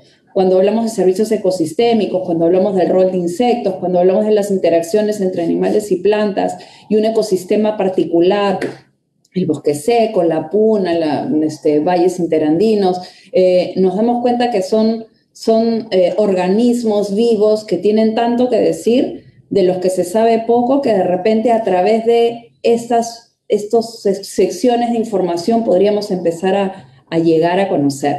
Eh, y ojalá poder identificarnos más con estos espacios. Como he escuchado aquí, eh, no se conserva lo que no se conoce. Me ha parecido que es una frase que, de la que me voy a acordar mucho porque, porque me parece que es muy, muy acertada. Luego, eh, tener espacios de interacción y tener espacios como un jardín botánico que te generan la posibilidad de, de, conectar, de interconectar. Para nosotros la interdisciplinariedad es sumamente importante porque la visión de un cocinero solamente no podría generarnos tanto conocimiento, sino que se necesita todas estas visiones que reunidas eh, generan nuevas ideas. Eh, en nuestra experiencia eso ha funcionado muy bien y creemos que estos espacios de reunión son precisamente lo que más se necesita para pensar en conjunto, para pensar como un colectivo. Eh, luego, qué importante es tener fuentes de conocimiento que sean, que sean, eh, que tengan realmente bases, bases importantes y que, y que sean columna para generar nuevo conocimiento, para innovación. Eh, qué importantes son espacios verdes en, una urbe como la nuestra, en, Lima caótica. Eh, qué importante es que podamos de nuevo conectar con la naturaleza que desde aquí a veces uno la siente muy, muy lejana. Eh, Perú es un país muy, sumamente rico, es un país sumamente diverso, es un país culturalmente diverso también. Eh, y creo que eso nos hace, nos, nos, coloca en una posición en una posición privilegiada por un lado, pero por otro lado en una posición de responsabilidad también eh, con respecto a lo que la, la, cantidad de acciones que se pueden realizar desde aquí pensando el mundo que queremos a futuro. Eh, ojalá que haya podido cubrir la, la, pregunta y de nuevo gracias por, por invitarme a participar aquí. Gracias a ti, Malena, sí, muy buena explicación. Y tiene razón, o sea, no, no es que la cocina tenga poco que ver, ¿no? Tiene mucho que ver, ¿no? Las plantas están relacionadas con todo. Tenemos eh, fuente de alimentos, la, gran variedad de, especies que tenemos, pues hace que nuestra cocina sea muy variada. También, pues, eh, las plantas se utilizan en medicina, en la industria, de todo. O sea, sin, sin las plantas, básicamente, no, no existiríamos tampoco. Bien, ahora esto, vamos a hacerle la pregunta para Sisi Haman.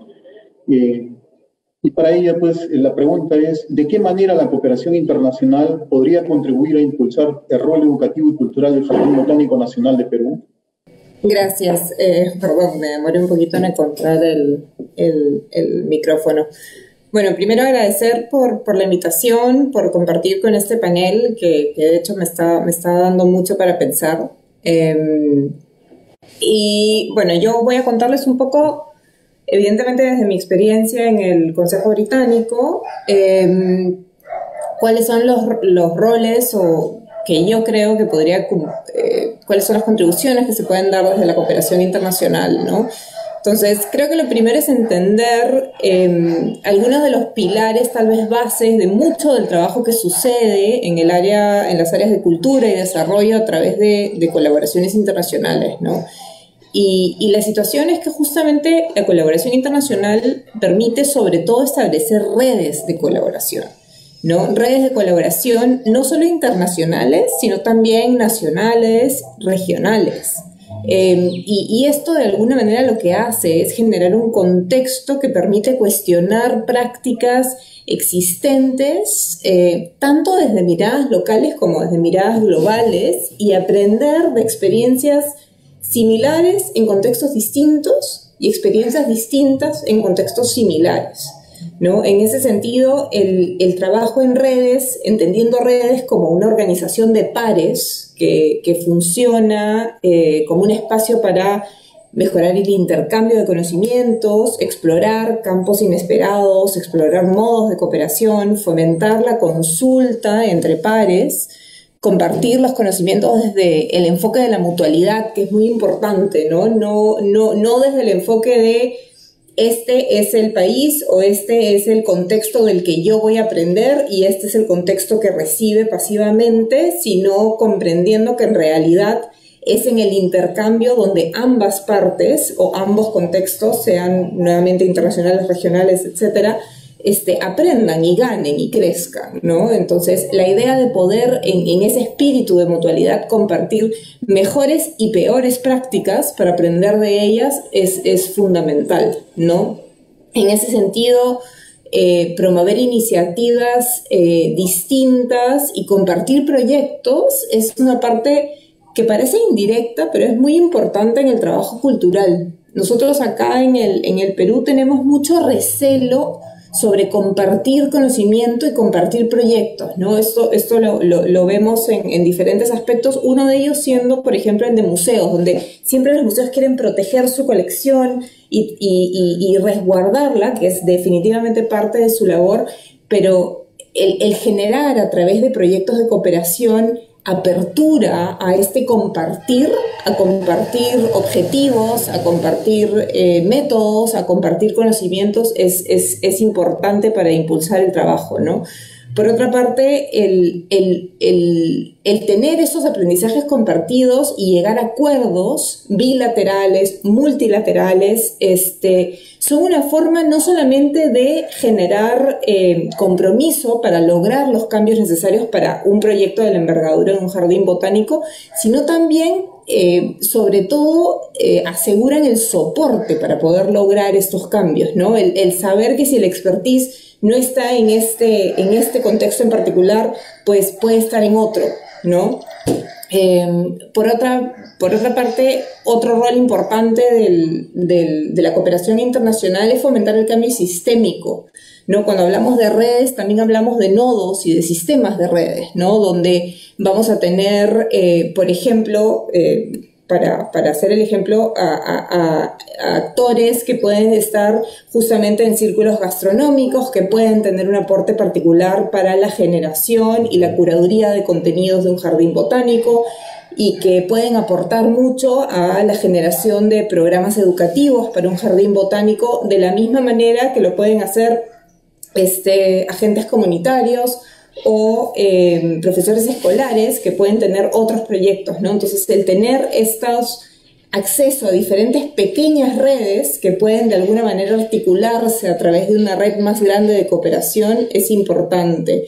Por otro lado, la cooperación internacional eh, crea plataformas eh, de, cooperación y, intercambio cultural y, transversal, ¿no? O sea, que de alguna manera permite enriquecer el, el, proyecto y pensarlo desde diferentes disciplinas, ¿no? Pensar el jardín botánico desde, evidentemente, la ciencia es, es, muy natural, pero también, por ejemplo, pensar el jardín botánico como una experiencia estética, ¿no? Como un espacio de esparcimiento, de ocio saludable que es tan necesario en una ciudad como esta, ¿no? Y de alguna manera gestionar que esto suceda. Por otra parte, em, eh, otro, otro, otro resultado inevitable de, de, los trabajos de cooperación internacional eh, tienen que ver con la innovación, ¿no? Finalmente la innovación proviene de personas diferentes eh, que tienen conocimientos eh, y formas de ver la vida diferentes a las de uno, ¿no? Entonces, esta colaboración va a promover formas innovadoras de, de, abordar el tema, ¿no? Y luego, más específicamente, hablando de la colaboración multidisciplinar y, y inter eh, ecosistemas de alguna manera, eh, una parte fundamental de, un proyecto como el Jardín Botánico es, bueno, cómo, cómo, yo, cómo hago yo para desarrollar la audiencia de mi museo jardín, ¿no? ¿Cómo hago yo para que la comunidad se incluya, se sienta representada, sea partícipe de la creación de este proyecto y se apropie de la creación de ese proyecto para que entonces participe activamente de él. ¿no? Este, y en ese, en ese sentido hay, hay varios ejemplos de los que voy a hablar en la siguiente pregunta, este, de, de, gestión de, de ecomuseos, por ejemplo, comunitarios, tanto en el Perú como en, otros, en otras partes del mundo, que, que tienen lecciones importantes para lograr la participación activa de los ciudadanos y la apropiación de los ciudadanos de un espacio como un jardín botánico, ¿no? Este, y, finalmente, eh, también usar este, la experiencia acumulada, como digo, en otros países, eh, en mi experiencia, bueno, el país que más trabajo yo es el Reino Unido, pero también en, en París, por ejemplo, el Jardín Botánico de Francia también es bastante importante y tienen mucha experiencia en cómo integramos a poblaciones diversas, cómo integramos a poblaciones discapacitadas, ¿no? No necesaria, o sea, yendo más allá de la rampa, ¿no? Yendo más allá de adecuar el edificio o la infraestructura, es em, involucrarlos en la creación de programas que realmente em, estén destinados a cubrir las necesidades que ellos tienen, ¿no? ¿Cómo podemos eh, de alguna manera hacer para que el jardín, un jardín botánico nacional nos ayude a sanar a un país como el nuestro? ¿Cómo, cómo nos imaginamos eh, o nos reimaginamos un, jardín botánico con un énfasis en la ciudadanía, en la gestión comunitaria? Estos son algunos de los aspectos en los que eh, el trabajo a través de cooperación internacional realmente puede generar una diferencia en un proyecto como, como el Jardín Botánico del que estamos hablando, ¿no? Muchas gracias, eh, Sisi, por tu respuesta. Bien, ahora volvemos nuevamente a hacer una pregunta, la segunda pregunta a Oliver. Y la pregunta es, Oliver, desde tu experiencia, ¿qué aspectos educativos y culturales deben implementarse en el Jardín Nacional Botánico de Perú? El micro está desactivado. Sí, bueno, mil disculpes, disculpe, disculpe. Sí, es, por eso es un poco tarde, estamos acercando el medianoche. Disculpe, después de estas palabras de, de, Malena y Joaquina, y sí, obviamente estoy totalmente de acuerdo. Hay tantas opciones y, y, y, en realidad hay demasiadas opciones en Perú por un jardín botánico. Eh, en cualquier esquina del país, tú puedes llenar eh, un, eh, el jardín botánico con, interés. Um, pero para mí, los, los, miles de horas que, quedando eh, en el campo y escuchando gente, realmente este, este es algo extraordinario para mí en Perú. La experiencia de la gente y, y, debemos con un jardín botánico abrazar los miles de años de conocimiento de las plantas uh, y, el mundo cambiando, la fenología y, la necesidad de la gente. Y, recordar que la ciencia que es muy importante en un jardín botánico para, para amar programas de, gubernamental, obviamente, de, reducir el riesgo de problemas, pero la ciencia es simplemente conocimiento basado en la evidencia y que los pueblos indígenas y las comunidades rurales, algunos que han vivido en los mismos valles desarrollando sus culturas desde la última época glacial, y, han migrado y, tengo recuerdos hablando con, gente en la selva que, que eh, su, una generación de atrás han, sido una, cultura de migración, uh, seguir en, la escenología de, de, los, de los higos y los monos y, migrando mil, miles de, de, kilómetros por año y no puedes ahora. Pero imagínate que ya que tiene más conocimiento con toda esta información, con la gente viviendo. Estamos hablando de un país que tiene 100 idiomas, eh, tal vez eh, estuvo uh, quizás 300 idiomas. Entonces, esta información eh, es mucho más que toda la historia de la ciencia moderna en Perú. Y, y, nunca, pero el Jardín Botánico es dejándonos la, la oportunidad de aprovechar esta increíble fuente de información. Estas personas deben ser acogidas y, y, bajo el mandato del de, de, Jardín Botánico y, y ayudar, para ayudar a los visitantes urbanos y gobiernos globales uh, comprender las cosas mágicas, extraordinarias sobre las plantas, los sistemas del Perú, después todo han vivido, después de todo, ellos han vivido en un jardín botánico de dioses toda su vida. Entonces, um, y adentro de este entorno de su, su profundo conocimiento eh, a través de los, idiomas, es muy importante de, de recordar ¿Qué, ¿Qué, es idioma? ¿Qué es una palabra? Y había varias cosas escritas sobre eso, pero uh, para mí cada palabra, uh, de un, cada palabra, un nombre de una planta, por ejemplo, es como una contraseña humana para la suma de todo el conocimiento experimentado, ¿no? Experimentado, experiencia durante miles de años. Y cada vez pedimos esta palabra, pedimos la contraseña de esta medicina, esta comida y, y, con este su valor de conservación. Entonces, cuando estuvimos primera vez haciendo encuestas, y, no como, como Joaquín sabes, en los Andes, en la costa, casi uh, eh, 95% de las plantas no tiene un, nombre local.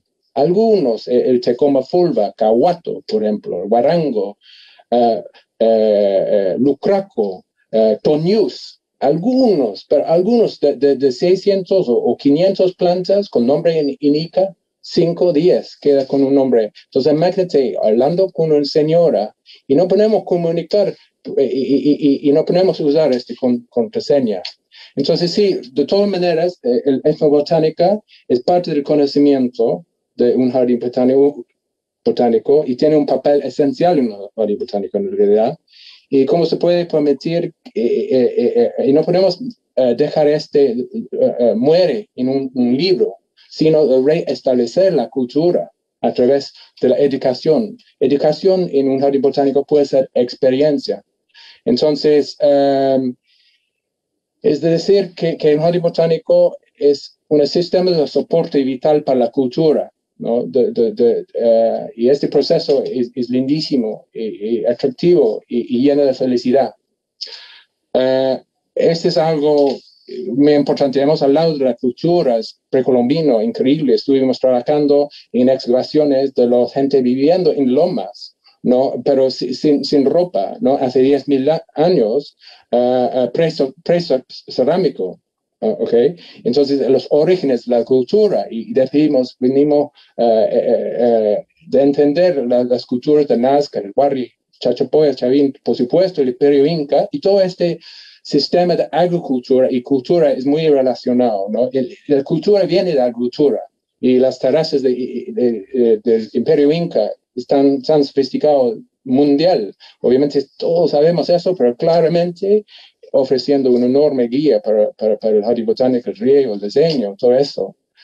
Em, y eh, ahora somos realmente, todos sabemos que el problema es agua y cambios climáticos es, es, ya pasando día por día. Nosotros, por ejemplo, estoy en el sur de Inglaterra, debe ser muy bien ahora, primavera, pero no hay agua. No hemos tenido agua para más de un mes. Somos casi entrando en una sequía. Y que tenemos un fraje de, de agua uh, polar por cinco o seis semanas. Es increíble, primera vez en mi, mi, mi, vida. Entonces, sí, ya cambios climáticos. Entonces, para enfrentar los cambios climáticos, eh, el jardín botánico es esencial, porque eh, es una manera como, como gente está uh, hablando de, reunir gente, de colaborar, de buscar soluciones. En cada planta a la posibilidad de una solución. Y la biodiversidad es, es esencial porque es la capacidad de adaptar. última, en este tema, quiero comunicar un poco nuestra experiencia en 2006. Uh, y, y, y, en 2006, uh, con el, el, boom de la agricultura, eh, estaba llenando con los increíbles trabajadores eh, eh, de los Andes, migraban.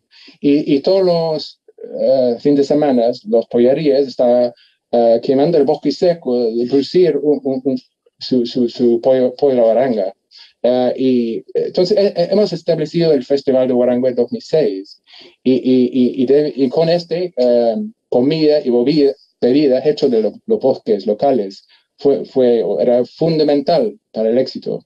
Y luego usamos teatro, música, exhibiciones. Y todo gratis para involucrar, hemos tenido uh, auspiciadores, involucrar a la gente no solo con su, su plantas local, sino también con los animales esenciales para la vida de las plantas, que realmente dan forma de la cultura, de la cultura antes, precolombina y nuevo, y formándose, lo, lo, lo, los, los stories, las historias, uh, tocando Gary, es esencial. Los animales que polis, uh, polinizar, uh, polinizar han permitido que las plantas se adapten a las condiciones. Si no tenemos polin, pol, polinizadores, los, los plantas no pueden afrontar los cambios climáticos.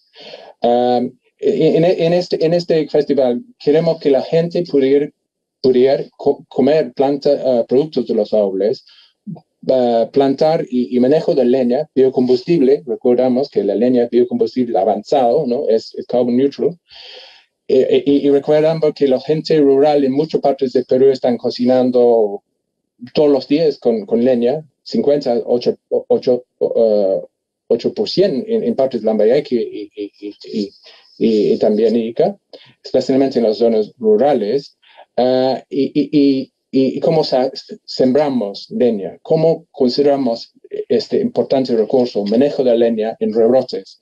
Entonces, queremos que la gente pueda aprender eso y, que no vean al zorro del desierto como un amenazada para sus su pollos, sino como un dispersador de semillas para reforestación de las huaicos y protección de, de gente mismo.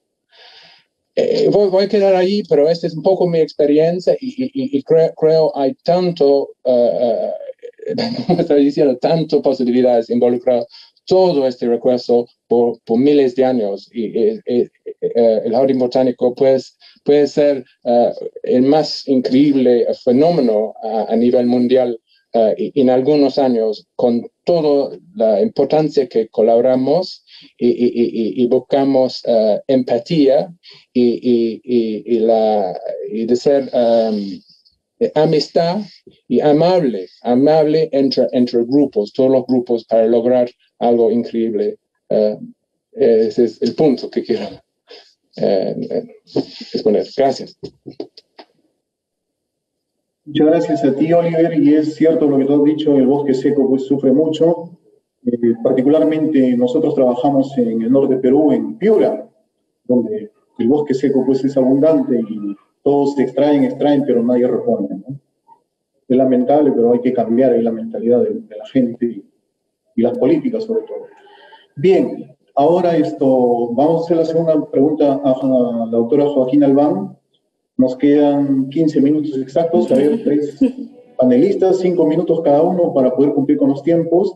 A ver, Joaquina dice, la pregunta es, ¿cómo estructurar e implementar un área etnobotánica en el Jardín Botánico Nacional de Perú que exhiba la contribución de las especies de las plantas más representativas de nuestro país? Gracias, Manuel.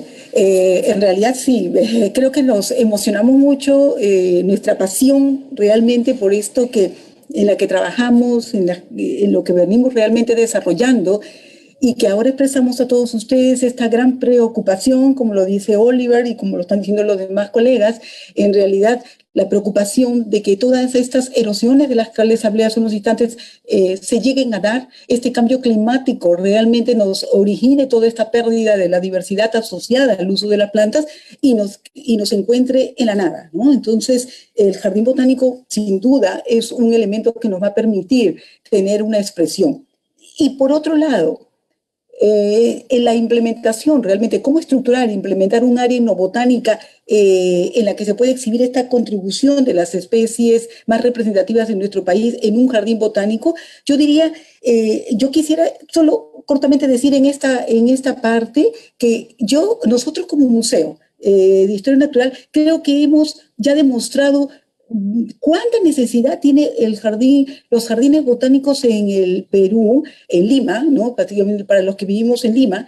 Este, en esta presentación que precisamente hacemos cada año, lo que llamamos nosotros el Día Libre de las Colecciones, en la que cada científico abre sus puertas al público un día al año, lo hacemos precisamente en nuestro aniversario, abrimos las puertas al público y les decimos y le mostramos todo lo que hacemos. Ustedes, y precisamente en el caso del departamento al cual yo dirijo, que es el de etnobotánica, exhibimos una serie de materiales vinculadas precisamente al uso de las plantas, tanto costaneras, andinas, amazónicas, porque realmente pedimos la colaboración de todos, ¿no? Y en verdad, eh, creamos esta gran vitrina, como eh, lo expresó precisamente este, nuestra colega em, Malena, eh, en realidad esta gran vitrina que nos permite mostrar a la sociedad limeña eh, que nos visita cuánto de esta información asociada al uso de los recursos ellos realmente probablemente desconocían. Y, no tienen ustedes la idea lo impresionados y, y, lo agradecidos que todos ellos nos muestran en cada una de sus visitas porque por toda esta información que logramos realmente brindarles directamente a este, al público en general. ¿no? Entonces, eso, es, eso nada más es para comentarles de que en verdad eh, la necesidad de, de mostrar estos espacios, este espacio de área, como estamos hablando del jardín botánico, y que históricamente, cuando revisamos un poco literatura, vemos de que desde 1625 aproximadamente, el Real Jardín de Plantas Medicinales creado en París fue uno de los primeros y en la que se estructuraba realmente toda una, una este, formación, ¿no? Y que luego la llegada en nuestro país de las primeras exploraciones botánicas, todo ello permite, ha permitido fortalecer eh, este gran conocimiento. Y, y, también algo importante, ¿no? Todas estas expediciones, incluyendo la de colegas británicos, ¿no? Como fueron la de Richard Spruce, la de Hugo Weddell, iniciada, por supuesto, también por eh, Hipólito Ruiz y Pavón, en España, eh, eh, vinieron al Perú y se empezaron a identificar nuevas especies para el mundo de la flora, pero asociados a que venía por una especie de uso medicinal, que era el árbol de la quina.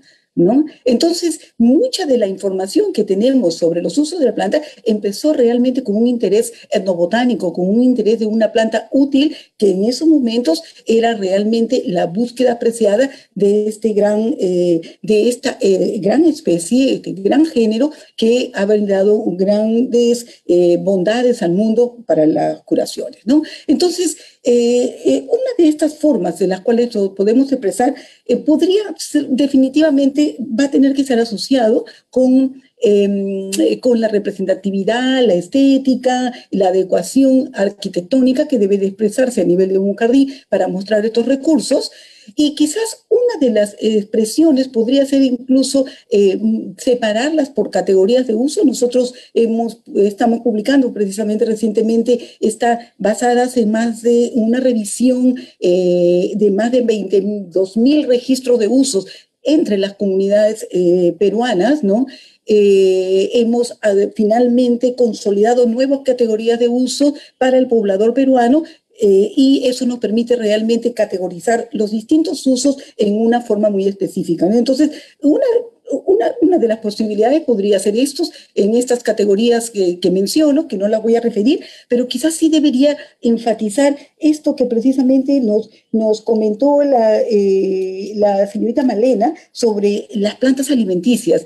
Eso realmente es un tema, si bien en las medicinales hemos avanzado, yo creo, ya con relativa información, pero de las alimenticias, ahora que estamos en todos los momentos de los superfoods realmente eh, eh, gran en boga, eh, yo creo que aún hay muchísima información que rescatar en este contexto en el ámbito general de nuestro país. Entonces, yo definitivamente creo que este tipo de proyectos, este tipo de presentaciones deberían ser indispensables. Y finalmente, eh, dado que me pides que sea realmente breve, eh, una de las cosas que también se me ocurre que podríamos expresar sería replicando espacios dentro del jardín eh, algunos aspectos de la vida del poblador peruano en el contexto de su vida tradicional. Entonces, se pueden armar algunas de estos modelos, como eh, por ejemplo ya lo vi en el Jardín Botánico de Quito, en la que eh, se, puede ejemplificar realmente todas las especies vegetales que se utilizan en una vivienda o en algún aspecto de la pesca, etcétera. Aspectos que realmente repliquen estas esta, esta forma como vive el poblador peruano y logra realmente subsistir en su medio donde habita. Ok, Manuel, gracias. Gracias a ti, Joaquina. Eh, excelente respuesta. Ahora vamos con Malena. La pregunta es, siendo el Perú un país reconocido por su mega biodiversidad y gastronomía, eh, ¿Considerarías que el Jardín Botánico Nacional de Perú pueda tener un área denominada de la botánica a la gastronomía y por qué? Este, eh, Manuel, eh, me han inhabilitado la posibilidad de, de, iniciar la cámara. No sé si por favor me puedas ayudar ahí. A ver, por favor, este, si le habilitan la cámara a Malena. Por alguna razón no lo puedo reiniciar el video. Aquí estoy, listo. Disculpen por eso. Eh, bueno, eh, gracias de nuevo y, me, ha parecido, me ha muy enriquecedor todo lo que se ha compartido en este panel. Eh, doctora Alban, todo lo que tiene por, decir, me, parece que me da lástima que el tiempo sea tan corto, pero bueno, en fin, para lo que a mí me corresponde, que es, digamos, reforzar la intención de que gastronomía sea parte de este gran proyecto, me parecería estupendo. Creo que es que es algo fabuloso que se puedan presentar eh, posibilidades de que la gente pueda pueda conocer más sobre lo que come, porque definitivamente así podría tomar decisiones más asertivas sobre su alimentación, sobre lo que se necesita promover en Perú, sobre nuestra agrobiodiversidad que tiene tanto que ver con nuestras culturas. Eh, creo que hay mucho por conocer y reconocer, mucho por valorar, eh, y entonces en esa, en esa medida me parece que, que se genere una, una una posibilidad de acción conjunta, eh, ciencia, gastronomía y las demás disciplinas, como decía eh, también sí, eh, que, que, se, presente en aspectos culturales, artísticos. Creo que hay, hay muchas vertientes que podrían podrían eh, sentirse, podrían sentir que tienen un lugar aquí importante para, para, para, vertir su trabajo y para realmente hacerlo, hacerlo un producto muy valioso para visitantes, eh, visitantes locales, visitantes de fuera. Creo que para alguien que no conoce Perú sería una forma muy muy visualmente y, y en nivel de conocimiento muy, muy nutrida para, para, reconocerlo y para quien es peruano sería una, digamos, una plataforma muy completa para, para mostrarnos lo rico que somos.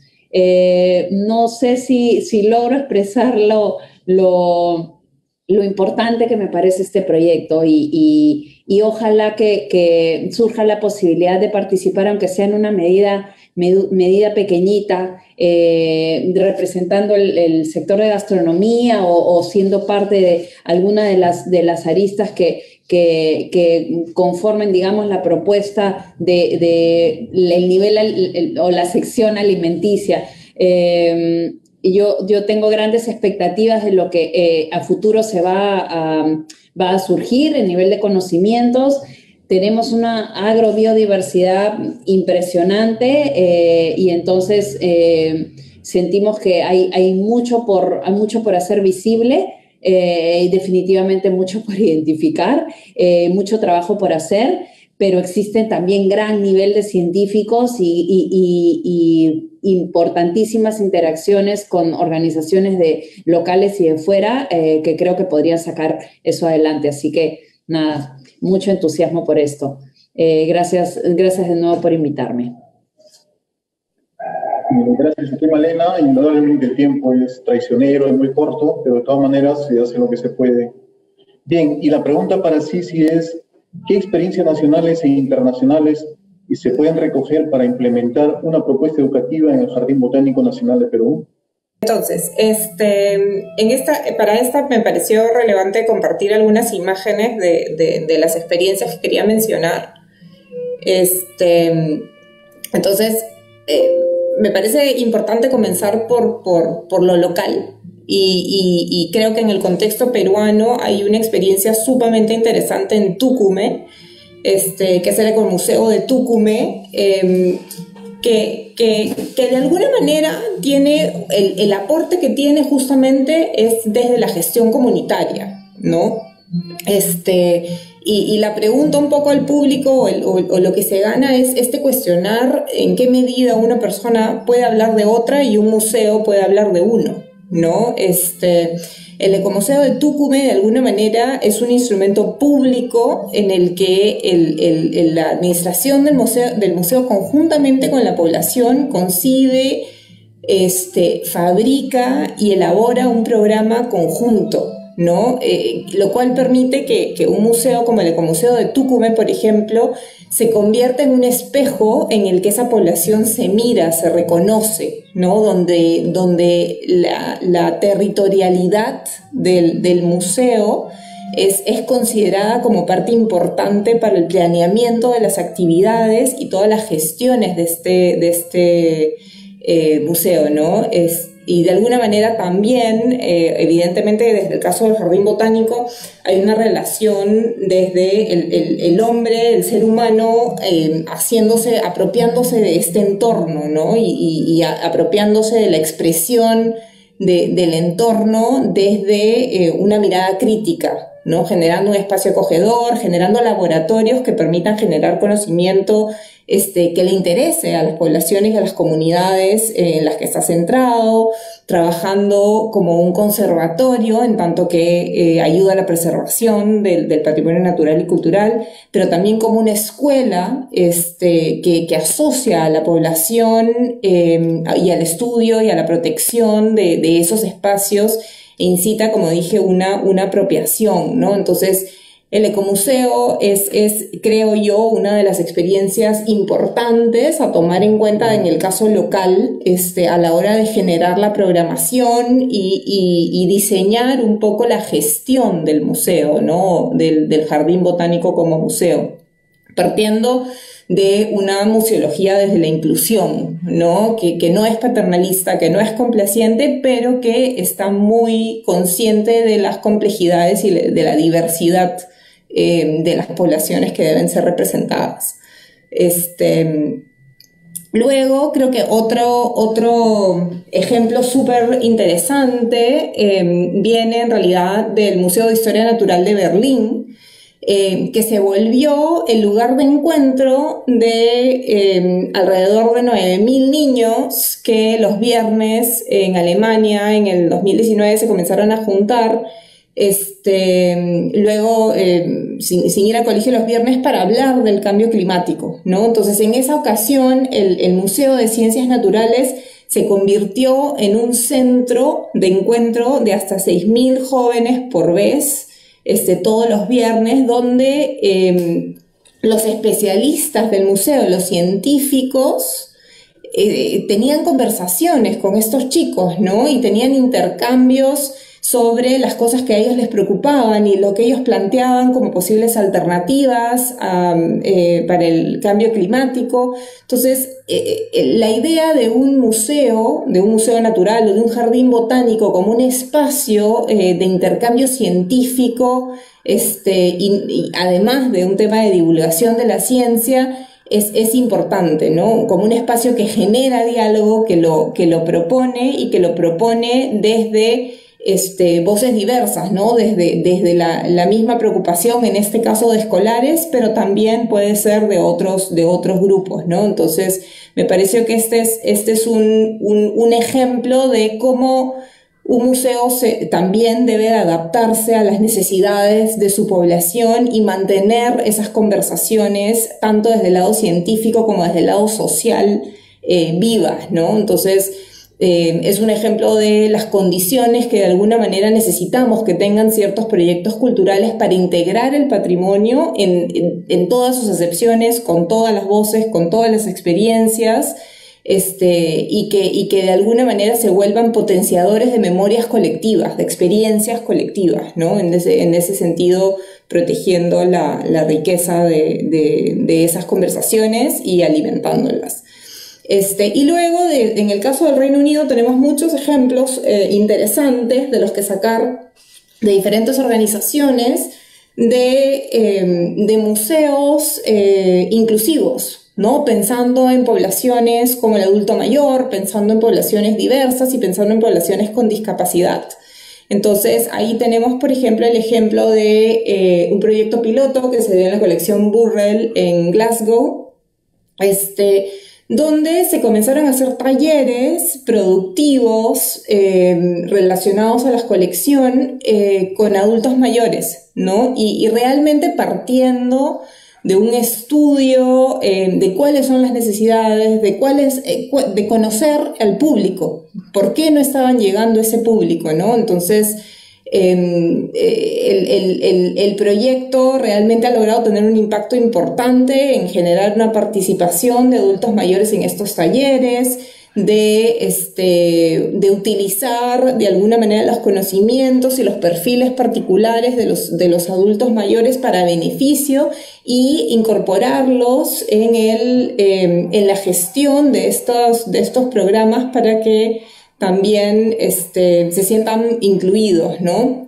Entonces, este proyecto pasó evidentemente por, por diferentes partes, tiene un componente importante de reclutamiento, ¿no? De, de realmente cuestionarse cómo logramos que un adulto mayor quiera participar, se aventure a participar, se sienta bienvenido, se sienta incluido en un espacio como este, este, con diferente eh, programación que le interese a esa audiencia en particular con, eh, con un monitoreo de impacto eh, real, ¿no? Tanto del impacto percibido como del impacto este, concreto que se genera a partir de estos programas. Entonces, más que, más que ejemplos específicos, creo que como estructura de investigación, conocimiento de públicos y este, generación de programas a la medida de poblaciones diversas es, es importante, ¿no?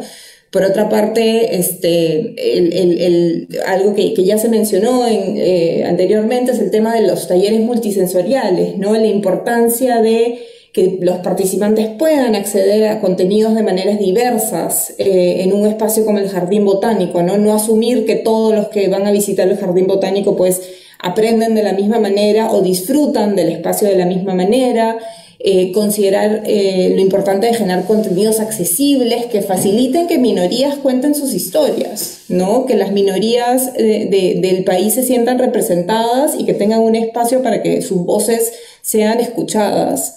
Este, espacios con programas que visibilicen diversas presencias diversas, cuerpos diversos, cuerpos con discapacidad. Y, sin buscar que un, que un programa sea una talla que le da a todo el mundo, ¿no? La talla estándar no funciona en este, en este tipo de, de organizaciones. Necesitamos un, un, jardín botánico que diversifique para diferentes audiencias, que realmente eh, estudie y conozca a cada uno de sus públicos y, y haga un trabajo que, que sea dedicado y especialmente para ellos, ¿no? Algunos ejemplos son, por ejemplo, hemos, hemos en, el History of Place, que es otra organización del Reino Unido, se, hizo se hacen muchos audiotours, ¿no? Pensando en poblaciones con eh, discapacidad visual. Este, entonces eh, se incluye la ambientación sonora, ¿no? ¿no? No es necesario solamente mostrar el, ecosistema, sino también eh, los sonidos del ecosistema, ¿no? Entonces considerar el jardín botánico también como un espacio multisensorial en ese sentido.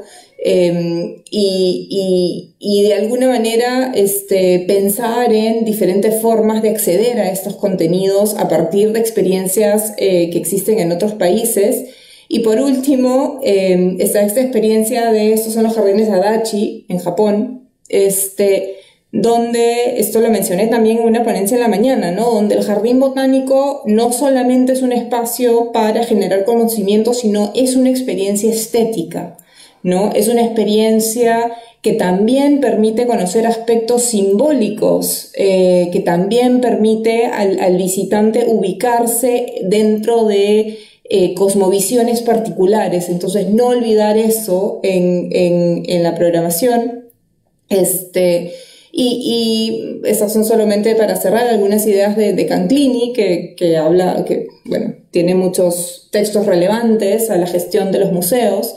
Este, y, plantear que lo que tienen en particular, algunos de, de los ejemplos que he dado es la interculturalidad, ¿no? que de alguna manera la interculturalidad debe ser el objeto fundamental de discusión en, un espacio como un museo, como un jardín botánico. ¿no?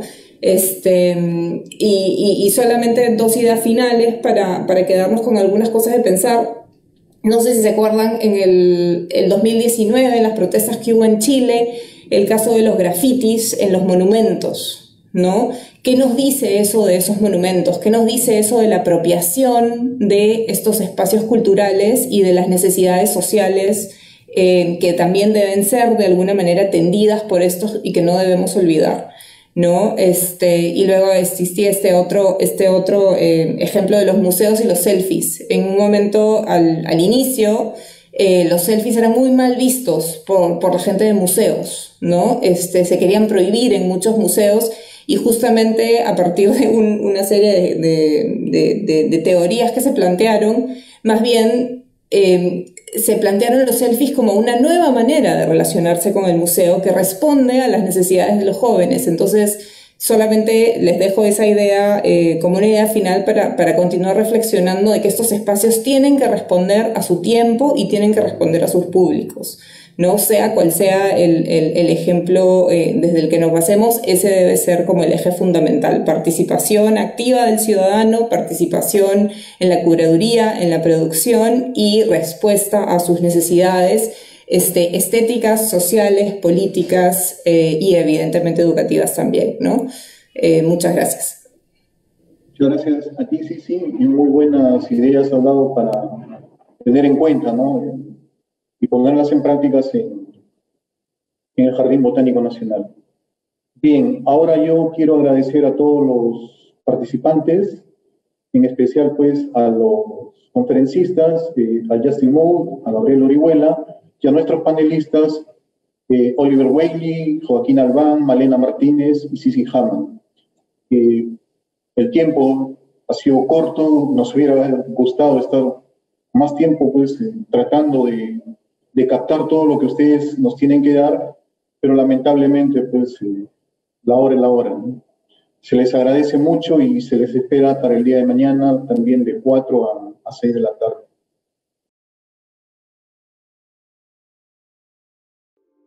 Bicentenario del Perú, 2021.